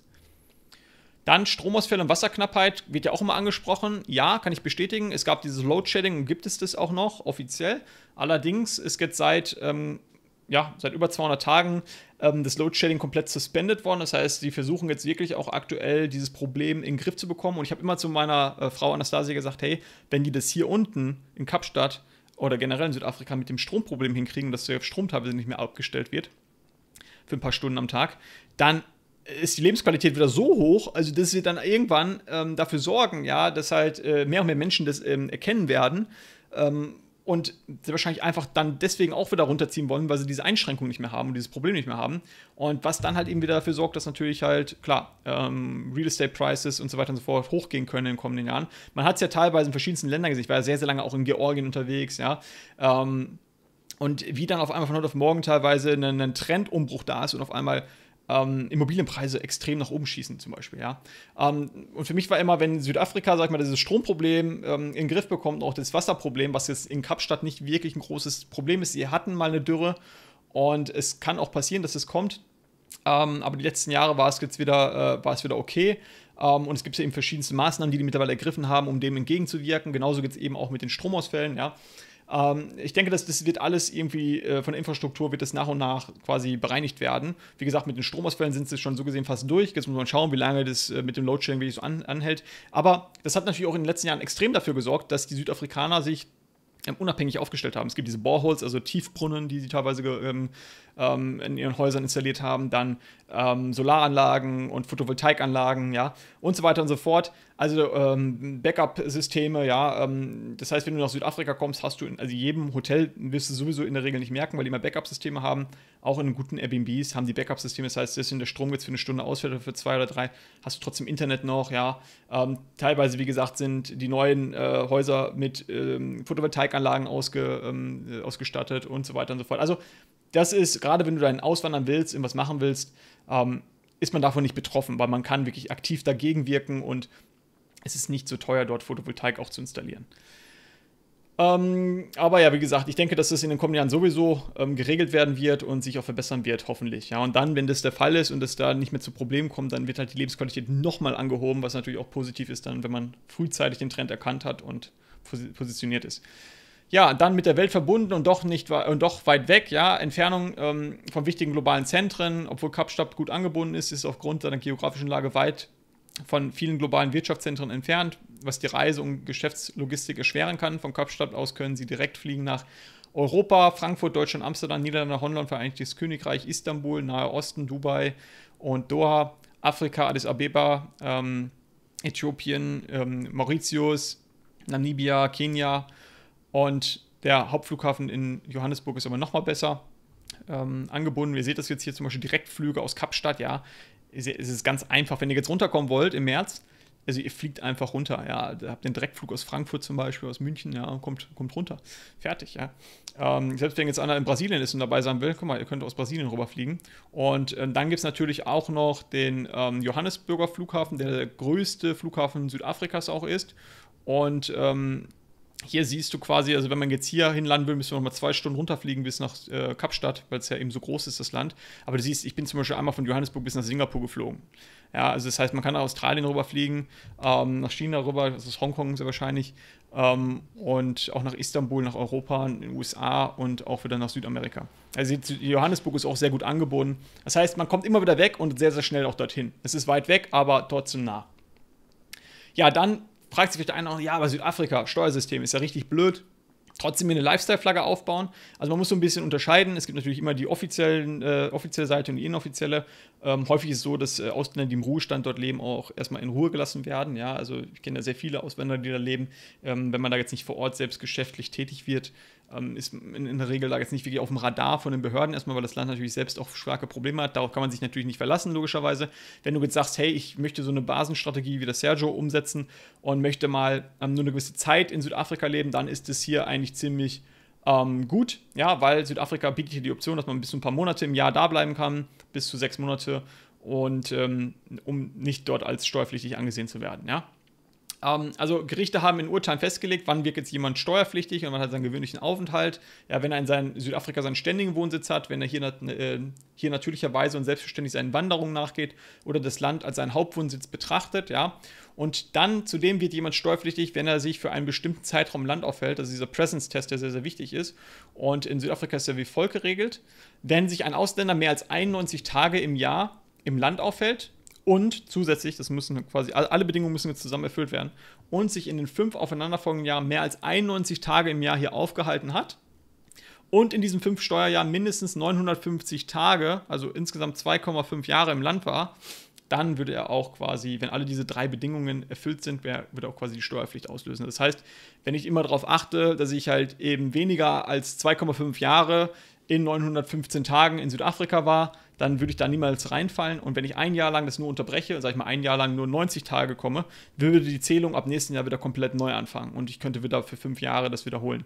Also von daher, äh, das machen auch viele, gerade diese Schwalben, die nutzen halt eben diese, äh, diesen Presence-Test, um einfach nicht steuerpflichtig zu werden in Südafrika. Und dann, wenn man halt eben, wie gesagt, vor Ort jetzt kein wirkliches Business aufbaut, ja, ähm, dann ist es halt alles relativ easy. Wenn du natürlich jetzt ein Apartment kaufen willst, Airbnb, dann gibt es da auch Möglichkeiten, lernst du bei uns im Seminar auch kennen, wie man das so strukturiert, dass man halt die Steuerlast legal in Südafrika natürlich runterbekommt. Ja? Ähm, aber das äh, wird dann natürlich dann im Seminar ähm, besprochen. Ja, wie erlangt man denn jetzt einen legalen Aufenthaltstitel in Südafrika? Ähm, Südafrika bietet da verschiedenste Möglichkeiten, zum Beispiel Visum für Angehörige, Geschäftsvisum, Arbeitsvisum, Studentenvisum, auch mittlerweile ein Visum für digitale Nomaden, Visum für den Ruhestand, Aufenthaltsgenehmigungen für finanziell unabhängige Personen. Meiner Meinung nach sind die, äh, das Visum für den Ruhestand und finanziell unabhängige Personen die interessantesten. Die schauen wir uns kurz einmal an.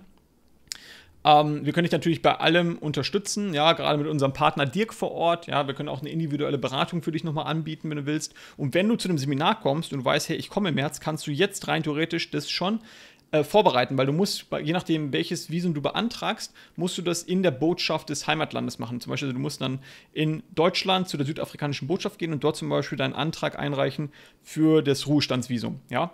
Ähm, das heißt, wenn du jetzt weißt, ich komme im März, kannst du jetzt mit uns quasi alles mit dem Dirk vorbereiten und äh, du reichst schon mal alles ein in, ähm, in der südafrikanischen Botschaft in Deutschland, dass wenn du dann im März runterkommst, schon mal alles vorbereitet ist für dein Ruhestandsvisum zum Beispiel. Und sobald du dein Ruhestandsvisum hast, kannst du direkt zum Beispiel die Permanent Residency beantragen. Ja, was sehr, sehr interessant ist. Ähm, der andere Weg ist über das Financial Independent Visa, schauen wir uns gleich noch an, das kann man auch im Inland direkt beantragen. Ja. Ähm, Genau, was ist jetzt das äh, Thema für Rentner? Ja, ähm, das ist ja wirklich hochinteressant, weil Rentner kann jeder sein in Südafrika. Rentner, da hast du keine Altersbegrenzung. Das heißt, es kann jemand, der, weiß ich nicht, 18 Jahre alt ist oder 20 Jahre alt ist, kann als Rentner gehen und das beantragen. Wichtig ist hier, dass du quasi ein Einkommen von wenigstens 37.000 Rand, das sind ungefähr 1.850 Euro, was ja echt nicht viel ist, ähm, nachweisen kannst. So, und das Einkommen kann aus einer Rente bezogen werden oder nachgewiesen werden. Zum Beispiel, wenn du jetzt von Deutschland eine Rente bekommst, du bist wirklich Rentner, so und du hast, die Rente ist über 1850 Euro, äh, wird es ja wahrscheinlich ziemlich wenig Rentner geben, die das haben, leider in Deutschland, aber ähm, dann wäre das möglich. Ähm, was die meisten machen, sag mal, wenn man jetzt nicht im Rentenalter ist und da keine Rente nachweisen kann, nutzt man Zinsen, Dividenden, du hast eine gute Firma, Dividendenauszahlung, perfekt. Ähm, Mieteinnahmen, ja, äh, du hast irgendwo schon äh, Immobilien vermietet, hast Mieteinnahmen mehr als 2000 Euro im Monat, perfekt. Kannst du quasi direkt das Rentnervisum beantragen, ja. Musst du, wie gesagt, in deinem Heimatland beantragen bei der südafrikanischen Botschaft. Sobald du das Rentnervisum hast, kannst du im Land die Permanent Residency sofort beantragen. Und dann musst du natürlich warten, bis die Permanent Residency ähm, genehmigt wird. Aber sobald du Permanent Residency hast, bist du auf dein Leben lang Permanent Resident und musst nur ein paar Bedingungen erfüllen, gehe ich gleich noch drauf ein und kannst nach fünf Jahren rein theoretisch sogar versuchen, einbürgern zu lassen. So, dann das andere, was ich hochspannend finde, ist das Financially Independent Permit. Also entweder man macht dieses Rentnervisum oder man macht das Financial Independent Permit. Die Details dazu, wie gesagt, alle dann im Seminar und wir haben auch da einen eigenen Artikel auf der Webseite, kannst du dir gerne an, anschauen. Aber das ist quasi ein unkomplizierter Weg zu einer dauerhaften, dauerhaften Aufenthaltsgenehmigung, also Permanent Residency in Südafrika für Personen mit einem erheblichen Nettovermögen. Um sich zu qualifizieren, muss ein Nettovermögen von mindestens 12 Millionen südafrikanischen Rand, also ungefähr 600.000 Euro, nachgewiesen werden. Und jetzt kommt's: Dieses Vermögen kann überall auf der Welt liegen. Es muss nicht in Südafrika sein. Also, das heißt, du kannst sagen, ich habe ein Haus in München, das ist eine Million wert und da ist keine, kein, äh, keine Hypothek mehr drauf. Dann kannst du das nutzen, um dir das Financial Independent Permit zu beantragen und kriegst direkt eine Permanent Residency, sobald du halt genehmigt wirst. Ja, die Aufenthaltsgenehmigung berechtigt zu lebenslangen Aufenthalt, Arbeit, Studium und anderen Freiheiten in Südafrika. Die einzige Einschränkung, die man da hat, ist, dass man nicht wählen darf. Aber ich meine, wählen will man ja sowieso nicht, ja. Und, das ist eben das, was ich dir jetzt sagen wollte, um so eine permanente Aufenthaltsgenehmigung nicht mehr zu verlieren, gehst du alle drei Jahre einmal bitte nach Südafrika. So, und das ist wirklich jetzt nicht schlimm, solange die Lebensqualität so bleibt, wie sie jetzt ist in Kapstadt, ja. Und vielleicht sogar sich noch verbessert, ja, dann geht man sehr gerne alle drei Jahre einmal dorthin und genießt einen Urlaub. So. So hast du dir quasi die Aufenthalts, äh, permanente Aufenthaltsgenehmigung auch dann gesichert. Wie gesagt, die, äh, der einfachste Weg ist über das Ruhestandsvisum und dann direkt Permanent Residency zu beantragen. Leute, die sagen, hey, ich will dieses äh, Financial Independent Permit beantragen, machen es auch, können es direkt aus dem Inland, also aus Südafrika auch direkt beantragen. Ähm, ja, also wie gesagt, Details, wenn du es umsetzen willst mit uns, gerade wenn du auch eben zum Seminar kommst, sehr gerne. Ähm, setze dich vor mit Dirk zusammen, der macht das dann alles mit dir und bereitet das alles vor. Das heißt, du kannst hier relativ einfach einen Plan B-Wohnsitz dir sichern, direkt in einem BRICS-Staat. Ja, das ist ja auch wichtig. Ja, und so kannst du dir jetzt, wenn du da fünf Jahre die permanente Aufenthaltsgenehmigung hast, kannst du quasi die südafrikanische Staatsbürgerschaft beantragen. Jetzt kann man darum, sich darüber streiten, ja, ist das eine gute Staatsbürgerschaft oder nicht. Es ist ja quasi eine Erweiterung deines Portfolios, so gesehen, wenn du jetzt Deutscher oder Schweizer bist. Das heißt, du gibst die deutsche ja jetzt nicht auf oder die schweizerische in dem Moment. So, du nimmst einfach eine weitere Staatsbürgerschaft hinzu im, auf dem afrikanischen Kontinent und hast zusätzlich hier einen, einen Pass der BRICS-Staaten. Und je nachdem, wie sich die BRICS-Staaten dann in Zukunft entwickeln werden, ist es natürlich, kann es sehr, sehr wertvoll sein. Ja? Auch alleine schon eine, eine permanente Aufenthaltsgenehmigung in einem BRICS-Staat zu haben, ist natürlich super. So, wenn du jetzt sagst, äh, okay, ich kann, in Brasilien kann man sich auch noch über ein Investorenvisum, reden wir jetzt heute nicht drüber, rein theoretisch äh, einfach einen Aufenthaltstitel sichern. Russland hat mittlerweile dieses Shared Value Visa, aber Russland hat natürlich Sanktionen und ich meine, damit zurechtzukommen, da offiziell zu leben und das, das kann echt für Stress beim Banking und allem Möglichen sorgen. So, Indien hm, haben die meisten von uns ja wahrscheinlich keinen äh, wirklichen Bezug zu, China genauso. Das heißt, Südafrika ist hier, wäre das Eintrittstor in die BRICS-Staaten, in diese BRICS-Allianz um sich wirklich hier für die gesamte Familie einfach einen Plan B zu sichern, ja, einen Aufenthaltstitel und auch potenziell dann eine Staatsbürgerschaft in Zukunft, ja. Und das finde ich halt eben persönlich hochspannend. Und dann vielleicht noch in Kombination mit einem Karibikstaaten oder Vanuatu nicht schlecht. Dann die andere Sache, gehen wir jetzt auch nicht mehr, äh, gehen wir noch schnell drauf ein. Ja, äh, du kannst quasi deinen Aufenthalt, wenn du, wenn du EU-Bürger bist, kannst du visumsfrei einreisen nach Südafrika. Ja, wenn du jetzt zu, dem, zu einem Event kommst, wirst du sehr wahrscheinlich das nutzen. Ja, du wirst quasi äh, maximal 90 Tage dich aufhalten können in Südafrika. Und ähm, als Tourist und du kannst es aber quasi vor Ort mit unserem Partner Dirk zusammen um 90 Tage wieder verlängern. Das heißt, du kannst bis zu 180 Tage so gesehen im Land bleiben, wenn du auch eben die Steuerpflicht nicht auslösen willst. Logischerweise, du kannst länger bleiben, solange dein Visum nicht genehmigt wurde.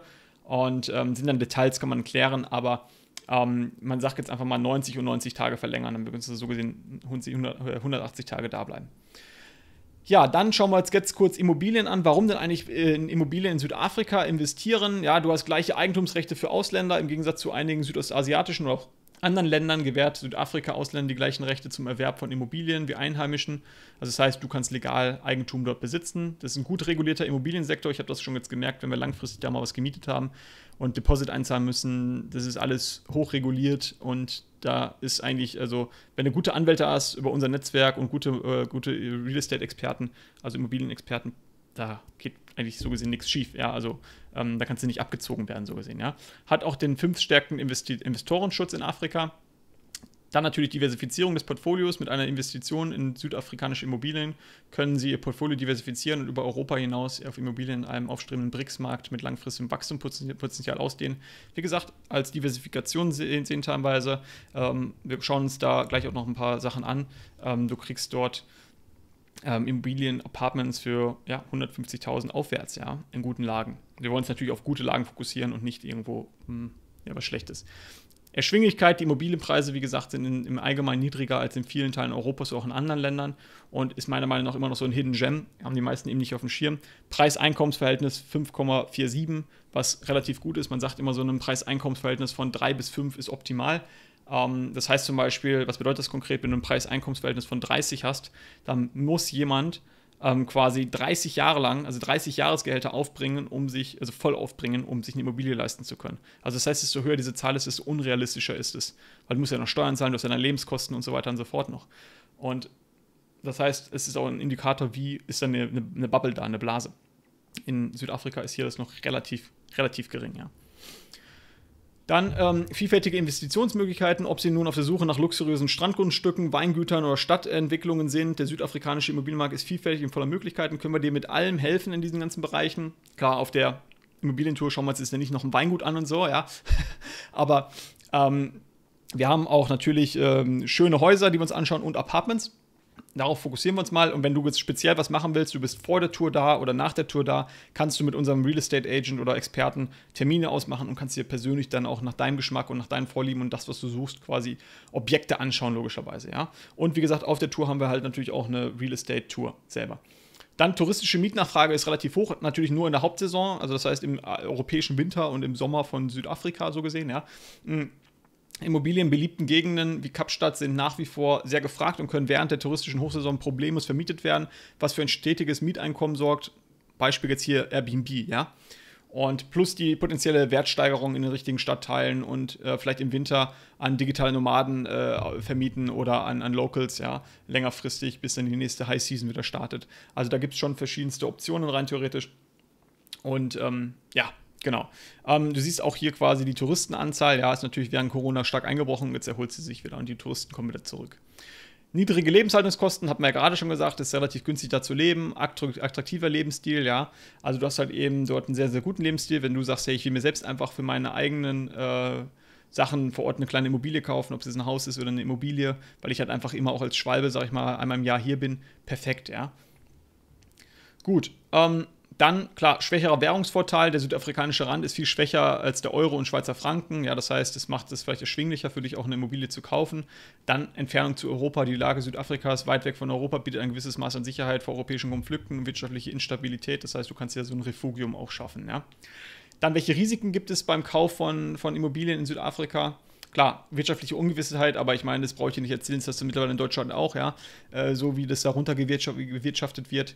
Ähm, wenn man sagt, ey, ich habe da irgendwie Probleme mit, dann kannst du eigentlich gar nicht mehr in Immobilien investieren, weil egal, wo du hingehst, ist irgendwie immer irgendeine gewisse Ungewissheit da, ja. Aber klar, auch das trifft natürlich auf Südafrika zu, Marktvolatilität. Mh, hm, auch dieser kann hier Schwankungen natürlich unterlegen, äh, unterliegen. Deswegen fokussieren wir uns zum Beispiel in unserer Immobilientour nur auf die besten Stadtteile halt im Stadtkern, die hoch nachgefragt sind, wo dann eben auch so eine Schwankung, ähm, ja, sag ich mal, nicht so stark vorhanden ist. Verbrechensrate, ja, klar, ähm, man sollte jetzt nicht, äh, du kannst Immobilien super günstig kaufen, ja, aber du willst halt eben nicht im Township kaufen oder irgendwo anders, sondern du willst halt eben in besseren Regionen, besseren Stadtteilen kaufen, das sind natürlich dann ein bisschen höher. Ähm, aber generell hast du natürlich ein Problem mit der, mit der Kriminalität dort. Also das heißt, ähm, das ist ein generelles Problem, was man hat. Äh, wenn man jetzt in einem guten Stadtviertel lebt, äh, hat man damit eigentlich keine Probleme. Stromausfälle hatten wir gerade angesprochen. Wie gesagt, ich hoffe mal, dass es ähm, zu der Vergangenheit angehört mit diesem Load Shedding. Ich denke, sie sind auf dem Weg der Besserung. Wird man jetzt in den nächsten zwei, drei Jahren sehen. Schauen wir uns jetzt kurz äh, Beispielimmobilien an in Kapstadt, dass du mal einfach nur siehst, was sich jetzt hier, was sich erwartet, wenn du dabei bist. Ja, das sind einfach nur Beispielimmobilien. Das heißt, äh, wir werden uns nicht genau die auf der, der Tour ansehen, sondern halt natürlich andere. Ähm, hier sind wir auf dem Katamaran. Ja, du siehst Kapstadt. Das ist, äh, meine ich, äh, Greenpoint oder Seapoint. Traumhaft schön mit dem Tafelberg im Hintergrund und ein Lion's Head hier vorne. Ähm, wie die Wolken darunter fließen wie ein Wasserfall wenn du schon mal da warst in Kapstadt, dann weißt du das, es ist einfach ein Traum. Es ist richtig geil. Und da einfach direkt so eine, so eine, so eine Immobilie zu haben, ja, die haben ja alle da fast, siehst du ja mehr Blick. Also es ist wirklich cool. Ähm, als erstes schauen wir uns hier einmal kurz City Center, City Bowl an. Ja, also das ist natürlich äh, klar. City Center ist das Financial Zentrum, sag ich mal, von Kapstadt. Da arbeiten alle. Das heißt, äh, der lokale Arbeitsmarkt hat da Nachfrage. Die Touristen wollen natürlich im City Center sein. Ja, die wollen ähm, in der City Ball sein, ja, da, äh, weil sie von dort aus direkt überall hinkommen. Die wollen jetzt nicht irgendwie super weit draußen sein, sondern das ist halt wirklich gute Lage. Ja, das heißt, da schauen wir uns jetzt mal das erste Beispiel an. Hier siehst du es ein Apartment, ja, eine Loft, Loft Studio, 180 Quadratmeter. Ähm, wurde mit 7,5 Millionen Rand gelistet, etwa 390.000 Euro. 2166 Euro pro Quadratmeter. Wenn das jetzt mit München vergleichst oder mit Hamburg oder Berlin oder was ich, ich meine, in Deutschland fangen ja die Quadratmeterpreise in der Regel schon ab 5000 an, gehen gerne auf 10.000 Euro pro Quadratmeter hoch, ja. Ähm, also das heißt, hier kriegst du auch wirklich noch teilweise Immobilien für 1500, 2000 Euro pro Quadratmeter. Ja, das ist natürlich für ein Investment nicht schlecht, um ehrlich zu sein. Und dann, wenn du überlegst, in den besten Lagen, in einem City Center, also nicht die beste, beste Lage, ja, ähm, ist ja jetzt nicht Camps Bay oder so, aber es ist eine gute Lage im City Center ähm, und hat einfach gewisses Wachstumspotenzial in den kommenden Jahren. Und die City Ball kann auch durch diese geografische Lage nicht ausgeweitet werden, zum Beispiel. Ja? Die ist natürlich eingeschränkt durch die Berge und alles. Ähm, drei Zimmerwohnung, Außenterrasse, wie du jetzt hier siehst, schön groß, Airbnb-Vermietung hier perfekt, ja, oder zum selber bewohnen, klar, oder auch langfristige Vermietung. So sieht die Loft jetzt aus, ja, wunderschönen Ausblick nach draußen hin, ja, nach Bokap runter zu den bunten Häusern. Ähm, hinten dann die Küche, der, der Essensbereich, oben das Schlafzimmer mit, mit zusätzlichem Bad noch, ja. Ähm, hier der Ausblick von der Terrasse oder vom Balkon äh, runter, ja, nach Bokap, äh, wie gesagt, diese bunten Häuser hin. Ähm, wirklich schön und äh, macht Spaß. Also da kann man sich schon vorher schon so ein bisschen Instagram-like, ja. Das heißt, äh, das wahrscheinlich auf Airbnb zu stellen, ist relativ einfach, ja. Klar, es ist nicht eine super billige Immobilie, aber bezahlbar. Ähm, dann schauen wir uns das nächste an Greenpoint. Ähm, also das werden wir uns auch auf der Immobilientour anschauen. Klar, City Center, Greenpoint und hier unten links siehst du Seapoint.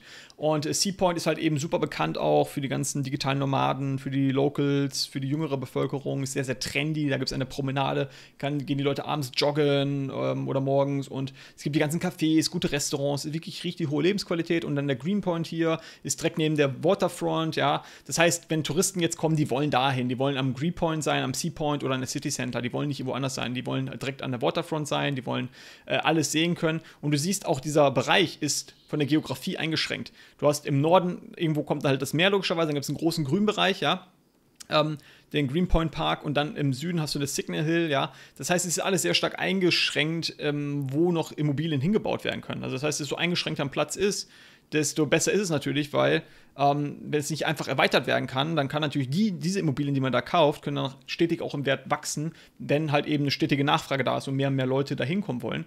Und das ist halt eben meiner Meinung nach der Fall, wenn wir im City Center oder am Greenpoint dort äh, reden, weil dort wollen natürlich auch Locals leben, wenn sie im City Center arbeiten, weil sie halt morgens schnell zur Arbeit kommen, ja.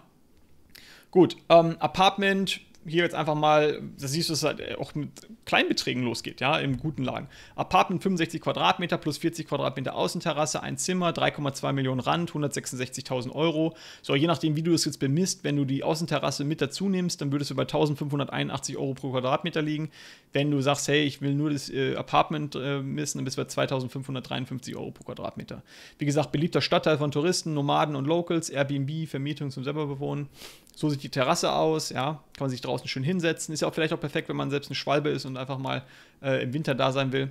Also im europäischen Winter. Hier das Bett, ähm, schön ein bisschen mit Ausblick raus zu, dem, zu der Terrasse. Ähm, ja, Wohn-Essbereich, hinten sieht man jetzt nicht, ist dann halt quasi die Küche. Und das gibt zum Beispiel nochmal hier ein Design-Apartment, ja, auch wieder am Greenpoint, äh, hat einen eigenen Parkplatz, ist ja auch wichtig, gerade wenn man im City Center ist und vielleicht ein Airbnb machen will, ähm, dass man den, den, Touristen sagen kann, hey, wir haben auch einen eigenen Stellplatz für dein Auto, einen Parkplatz und ähm, muss nicht draußen parken. Ein großer Vorteil, ja. Zwei Zimmer, Außenterrasse, ungefähr 120 Quadratmeter, 6,9 Millionen Rand, also 360.000 Euro, 3.000 Euro pro Quadratmeter in etwa. Ähm, ich war selbst dort schon drin, ähm, weil ein Freund von mir das als Airbnb mal gemietet hat. Also ganz lustig eigentlich. Ähm, beliebter Stadtteil bei Touristen, normalen Locals, Airbnb, selber wohnen oder Vermietung langfristige. Ähm, so sieht es dann von innen aus, ja. Also wirklich ein sehr, sehr schönes, hochwertiges ähm, Design-Apartment. Ja, die Terrasse sehr groß, wie du siehst, mit einem super schönen Ausblick zum Table Mountain, zum Signal Hill rüber. Ähm, du siehst, die Terrasse ist wirklich groß. Also das heißt, du kannst da mal easy deine Freunde einladen und zusammen grillen. Ja, das ist ja auch bei den Südafrikanern ganz bekannt. Das Braai, so nennen die das Grillen. Und äh, wir Deutschen lieben ja Grillen. Südafrikaner lieben auch das Grillen. Kann man hier ganz easy machen auf der Terrasse. Ja, was werden wir uns jetzt auf der Immobilientour ansehen in Kapstadt? Apartments in beliebten Stadtteilen, welche sich bestens für ein Investment zu Kurz- oder Langzeitvermietung eignen. Das heißt, wenn du jetzt Airbnb-Investments übersuchst, ähm, werden wir uns da halt passende Angebote ähm, anschauen. Familienhäuser in beliebten Stadtteilen, welche sich bestens für das eigene Bewohnen nutzen äh, oder genutzt werden können. Das heißt, wenn du jetzt da nur überwintern willst oder dauerhaft vielleicht sogar nach Südafrika auswandern willst, dann ist das natürlich perfekt. Schauen wir uns auch ein bisschen was an auf der Tour. Wir werden natürlich vorher rumfragen mit allen Teilnehmern, was willst du genau, was interessiert dich und dann werden wir daran natürlich dann auch die Tour stark ausrichten. Ähm, warum solltest du teilnehmen? Klar, lokale Expertise. Ähm, du bekommst hier einen Einblick von erfahrenen Immobilienexperten. Ja, wir arbeiten mit deutschsprachigen Immobilienexperten vor Ort zusammen, ja, der uns quasi die Tour machen wird mit uns zusammen, ja. Der den Markt in- und auswendig kennt, der lebt seit 15 Jahren, arbeitet der in dem Bereich, macht nichts anderes von morgens bis abends und äh, wird ja auch wirklich wertvolles Wissen im Bereich Immobilientrends, Vorschriften, Möglichkeiten und No-Gos vermitteln. Ja. Kurierte Immobilienauswahl, ja, wie gesagt, wir, wir gehen handverlesen in verschiedenste Immobilien rein bei unserer Tour und ähm, wo ihr auch dann vorher sagen könnt, hey, das und das ist uns wichtig, das möchte ich gerne sehen, dann können wir halt eben dementsprechend dann auch die Tour danach anpassen. Und unser Seminar mit mir natürlich über internationalen Vermögensschutz, BRICS-Staaten, Optionen, Auswanderung, Steuersparnis, ja. Äh, wie kannst du dein Vermögen weltweit schützen, den besten, wie kannst du jetzt den Auswanderungsprozess halt eben reibungslos auch bewältigen, Steuersituation optimieren Und wie kannst du eben rein theoretisch auch Südafrika als deine Flagge mit einbauen? Ja, was gibt es da für Möglichkeiten? Dann, klar, ähm, unsere Experten beim Seminar, also ich bin ja nicht nur ich, sondern der Dirk, den siehst du hier rechts, mit der Anastasia zusammen. Die Anastasia wirst du auch persönlich kennen, das ist meine Frau, die ist alles mit organisiert, zu der wir so einen persönlichen Kontakt haben. Ja, Dirk ist unser äh, Wohnsitzexperte für Aufenthaltsgenehmigungen in Südafrika. Er wird einen Vortrag halten, natürlich, wie kannst du ähm, wie sieht es aus mit dem Aufenthaltsrecht dort? Äh, wie kannst du es erlangen? Worauf musst du achten? Wie funktioniert das genau? Wie gesagt, kannst du es gerne auch vorher schon mit uns beantragen, dass du das vorbereitet bist und schon durch bist oder direkt nach der Reise, äh, nach dem Event quasi das, äh, in die Umsetzung gehen, wie du willst. Dann klar, du wirst Gleichgesinnte treffen. Was Geileres gibt es doch nicht auf so einer Tour. Ja, du, du triffst Menschen, die genauso denken wie du, die auswandern wollen, die sich verändern wollen, die ihr Vermögen schützen wollen, die alternative Investments suchen, die sich mit den BRICS-Staaten vielleicht auch auseinandersetzen, die sagen, hey, ich bin offen für neue Kulturen, auch vielleicht für ein Land wie Südafrika, wo jetzt wo vielleicht nicht immer nur Positives darüber berichtet wird, sondern ich schaue es mir auch mal an vor Ort, ja, gerade auch im Kapstadt. Ähm, das ist doch geil, so ein Netzwerk zu haben. Klar, logisch. Ähm, dann wir erkunden äh, Gemeinschaft in Gemeinschaft äh, Kapstadt, ja. Und wir sind ja seit Jahren dort. Ja, ich kenne die geilsten Restaurants, ich kenne geile Orte. Äh, ihr kriegt von uns eine Liste, wo müsst ihr übernachten, was können wir empfehlen. Und dann besuchen wir natürlich auf der Tour diese Orte dann teilweise auch, ja. Und wir haben alle zusammen Spaß, ja. Hier siehst du mal ähm, noch ein paar Impressionen, ja, äh, von, den, von den Weinkellereien und so weiter und so fort. In Südafrika ist wirklich ein Traum. Gutes Essen, guter Wein, schöne Natur, ja, mit Gleichgesinnten, mit uns zusammen, mit dem gesamten Expertenteam. Das wird wirklich Spaß machen. Wann und wo? Termin, es startet alles am Sonntag, den 2.3.2025 bis zum 4.3.2024 in Kapstadt, ja. Ähm, wir haben maximal nur 20 Plätze, also bitte ähm, schnell einbuchen, wenn es geht, äh, bevor die Plätze vergriffen sind. Wir haben auch schon die ersten äh, Plätze, die gebucht wurden, weil wir halt eben vor Ort nur unseren Klienten schon mal geschrieben haben und darauf hingewiesen haben. Ähm, Zeitplan, am, am, Sonntag treffen wir uns in Constantia in Kapstadt, ja, in unserem Lieblingshotel, ein 5-Sterne-Lieblingshotel. Dort werden wir halt eben das Seminar haben, eben mit mir, ja, Chancen der Flaggentheorie in BRICS-Ländern, Steuern sparen, Vermögensschutz. Dann unser Residency-Experte Dirk, ja, Option der legalen Umzug nach Südafrika. Und unser Immobilienexperte Jörg wird dir die besten Viertel vorstellen, im Immobilien in Kapstadt zu investieren und zu diversifizieren. Ähm, wir haben auch schon, schon im Gespräch mit Rechtsanwalten und Notaren, die vielleicht auch dann sprechen werden.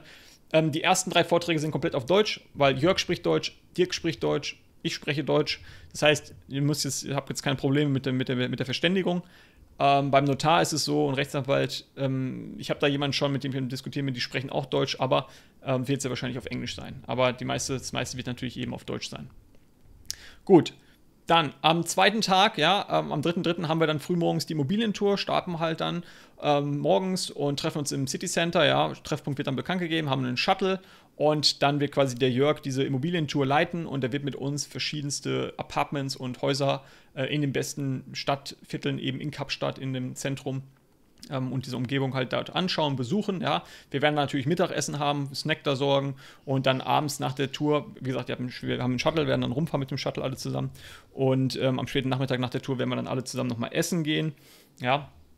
Ähm, am dritten Tag ist dann Networking- und Picknick-Tag im Weingut. Das hört sich jetzt vielleicht ein bisschen lustig an, wenn du noch nicht in Südafrika warst, aber wer schon mal in Südafrika war, war und weiß, dass auf den richtigen Weingütern gibt es wunderschöne Picknicks. Es ist nicht so ein Picknick wie für Arme, sondern es ist wirklich Luxus und kriegst schön äh, quasi ähm, ja, äh, Essenskorb, ja, und kann man auch einen Wein trinken, wenn man möchte. Und wir können da alle uns zusammen unterhalten in wunderschöner Umgebung. Unsere Experten sind natürlich da äh, vor Ort äh, mit dabei, ja. Also das heißt, der Dirk und der Jörg sind mit dabei und unsere Rechtsanwälte sehr wahrscheinlich dann auch.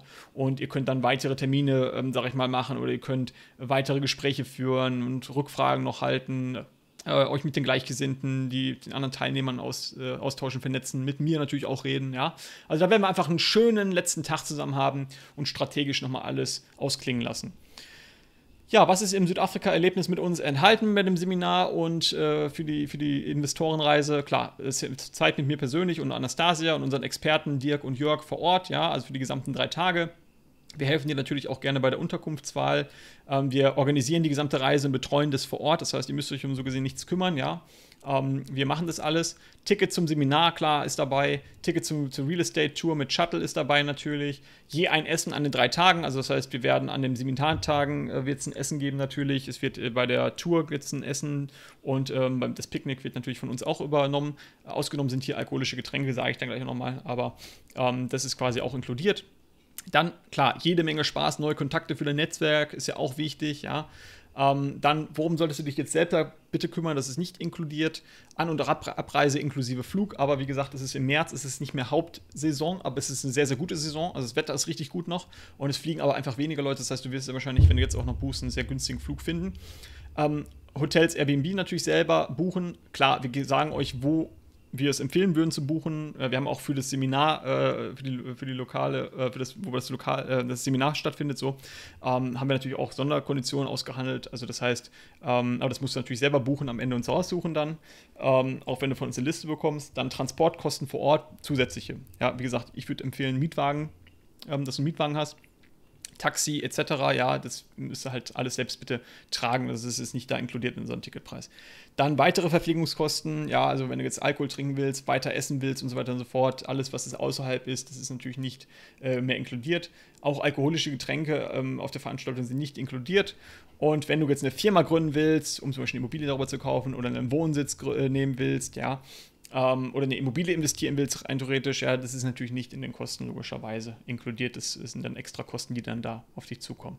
Genau. Ähm, was kostet der Spaß, jetzt mit dabei zu sein? Es ist wirklich super billig, um ehrlich zu sein. Ähm, 895 Euro pro Person, wenn ihr zu zweit kommt, ja, Ehemann, Ehefrau oder auch Lebenspartner, 1495 Euro, das heißt, ihr kriegt einen kleinen Rabatt. Genau, also. Und wenn ihr ähm, VIP-Club-Tickets äh, haben wollt, also das heißt, wenn ihr jetzt äh, schon Goodbye Matrix Club-Mitglieder seid, dann kriegt ihr 100 Euro Rabatt jeweils, also ähm, einmalig. Ähm, jetzt, wenn du alleine kommst, 795 Euro dann. Und wenn ihr zu zweit, komm, zu zweit kommen würdet, 1395 Euro. Und jetzt habe ich ein spezielles Angebot. Das heißt, ihr habt ja jetzt, müsst vielleicht überlegen, okay, wollen wir kommen, wollen wir nicht kommen, ein bisschen, können wir Urlaub nehmen, wie auch immer, müssen wir ein bisschen planen. Also eine Woche Zeit, sieben, in sieben Tagen läuft das Angebot ab, ja. Siehst du auch auf unserer Angebotsseite, wird ja jetzt auch dann eingeblendet. Ähm, das heißt, ähm, du kannst dir den Guppa Matrix Club sichern plus das Ticket zusammen. Ja, das heißt, du kriegst dann quasi für ein Jahr den Guppa Matrix Club plus das Ticket, dort mit dabei zu sein bei unserer ähm, Tour und Seminar. Und für eine Person wäre das 1292 Euro total, ähm, statt 1492 Euro, wenn du dir alles einzeln kaufen würdest, weil der Club kostet 597 Euro und das Einzelticket kostet 895 Euro. Das heißt, du sparst dir so gesehen 200 Euro. Ähm, oder wenn du sagst, wir kommen zu zweit, dann ist quasi für ein Jahr Club plus das Ticket für beide Personen 1895 statt 2092. Also auch da ähm, sparst du 200 Euro. Also du siehst, ähm, kannst in den Club kommen, hast da auch mal das ganze Jahr über noch weitere Strategien, ja, die du quasi erleben wirst und mit uns persönlichen Austausch gehen kannst und kannst auch dabei sein. Also das heißt, wenn dir das wichtig ist, dass du auch noch in den Club kommen willst, haben wir hier ein Sonderangebot für die nächsten sieben Tage geschnürt. Kommst du in den Club rein für das nächste Jahr plus ein Ticket zu dem Seminar hin. Äh, ob du jetzt alleine kommst oder zu zweit, musst du ja dann entscheiden. Ähm, aber ja, ich freue mich drauf. Die Teilnahme bitte nur ab 18 Jahren. Ja, ähm, ähm, das ist ein Problem. Also wenn ihr Kinder habt, bitte vorher nochmal kurz nachfragen, ob wir es irgendwie lösen können. Aber generell sind die Touren bei uns, ähm, weil wir halt rumfahren müssen und so weiter und so fort, das wahrscheinlich auch ein bisschen anstrengend ist dann vielleicht für die Kiddies. Ähm, ihr könnt natürlich bei gewissen Sachen dabei sein, wie beim Picknick oder so. Ähm, aber da sind halt dann manche Sachen beim Seminar und bei der, bei der, bei der Real Estate Tour ist halt einfach nicht möglich, da ähm, kleine Kinder noch mitzunehmen. Bitte Verständnis dafür haben. Also bitte einfach nachfragen, wenn ihr Kinder habt, dann können wir das natürlich klären. Ähm, ja, meine persönlichen Highlights jetzt nochmal kurz am Ende, ja, für euch, dass ihr nochmal seht, ähm, wie schön das ist. Das ist jetzt der Blick rüber nach Hout Bay und ähm, der Chapman's Peak Drive. Da würde ich dir natürlich auch unbedingt empfehlen, ähm, mit dem Auto herzufahren. Wirklich ein Traum. Und äh, eine der schönsten Küstenstraßen, die ich jemals gesehen habe. Dann klar, wenn ihr vorher kommen wollt oder nachher, könnt ihr natürlich eine Safari machen. Das ist jetzt hier aus dem Krüger Nationalpark. Wie gesagt, ist oben bei Johannesburg, ist äh, 2000 Kilometer weit entfernt von Kapstadt. Aber das ist natürlich ein Highlight, ja, wenn du die Giraffen siehst, die Zebras, Krokodile gibt es da, äh, Nilpferde, Elefanten, Nashörner, Löwen, äh, Cheetahs, also alles Mögliche. Es ist wirklich ein Traum. Also das heißt, wenn du Safari liebst und wenn du nach Südafrika zum ersten Mal kommst und du hast vielleicht vorher Zeit oder nachher, nimm dir eine Woche Zeit, geh zum Krüger Nationalpark. Das ist schon wirklich ein geiles Highlight. War ich jetzt zweimal und ich gehe jetzt mit meiner Familie nochmal, weil meine Mama kommt mich jetzt besuchen im Dezember 2024. Und ich gehe mit denen erst zum ähm, Krüger Nationalpark, gehen wir alle zusammen und dann kommen wir runter nach Kapstadt. Und dann sehen wir uns hoffentlich im März zusammen vor Ort. Ja, dann hier die ganze Umgebung von Kapstadt rum. Ja, also das ist natürlich, in der Mitte ist die Innenstadt, da ist die Waterfront. Da sind dann die, die, die Schiffe drin, die Boote, ja, Katamarane mit Blick zum Tafelberg rüber. Äh, also unglaubliches Feeling dort, ja. ja super schön, ist natürlich auch super, super sicher dort. Und ähm, kannst gut essen gehen, kannst da was trinken, äh, einfach einen schönen Ausblick. Ähm, da gibt es dann auch die, die Seehunde und ach, ist halt einfach, ähm, einfach cool, ja. Und hier, da oben sind wir jetzt auf dem Tafelberg auf der rechten Seite, ja, da siehst du Anastasia, wie sie ähm, auf ähm, ja, einem äh, schönen Stein posiert und äh, runter zum, zum Lionset, Blick zum Lionset runter. Und da siehst du auch jetzt auf der rechten Seite quasi von dem Signal Hill, ähm, das ist quasi ähm, diese City Bowl, ja, und ähm, quasi das City Center. Und dann dahinter, quasi wo das Stadion auch ist, weiß nicht, ob du das siehst, ähm, da ist quasi dieser Greenpoint, ja. Und das siehst das ist natürlich auch schon von der Geografie extrem eingeschränkt ist. Da kannst du nicht einfach sagen, wir äh, erweitern das jetzt mal und bauen hunderte neue Apartments dorthin oder Millionen neue, ja. Also ähm, dann kommt das große Meer und der Atlantik, der ist kalt und der ist strong, also der ist stark. Da kannst du nicht einfach sagen, wir schütten mal ein bisschen Land auf. Also das ist natürlich alles zum Vorteil, wenn man da sich was kauft. Und hier ganz links, das ist mehr nach Somerset West rüber. Ähm, hinten Richtung Betty's Bay, glaube ich, wenn man da hinfährt, äh, zu den Pinguinen. Und das ist eine zweite Küstenstraße, Küstenstraße, die wunderschön ist, mit diesen Bergen. Also wirklich traumhaft, traumhaft schön, was man da teilweise für Ausblicke genießen kann. Hier sitze ich oben auf dem Tafelberg runter. Ähm, das da unten ist, glaube ich, Camps Bay ähm, oder sowas. Äh, was man gerade noch sieht, die Häuser. Also das ist wirklich ein Traum, wirklich traumhaft schön. Und ja, ich denke, du wirst es nicht bereuen, wenn du mit uns nach Südafrika kommst, mit der, bei, dabei bist bei der Investorenreise und beim Seminar. Ja, wie gesagt, sei bei unserer Investorenreise und Seminar gerne dabei. Lass uns gemeinsam Südafrika erkunden. Das ist Anastasia und ich.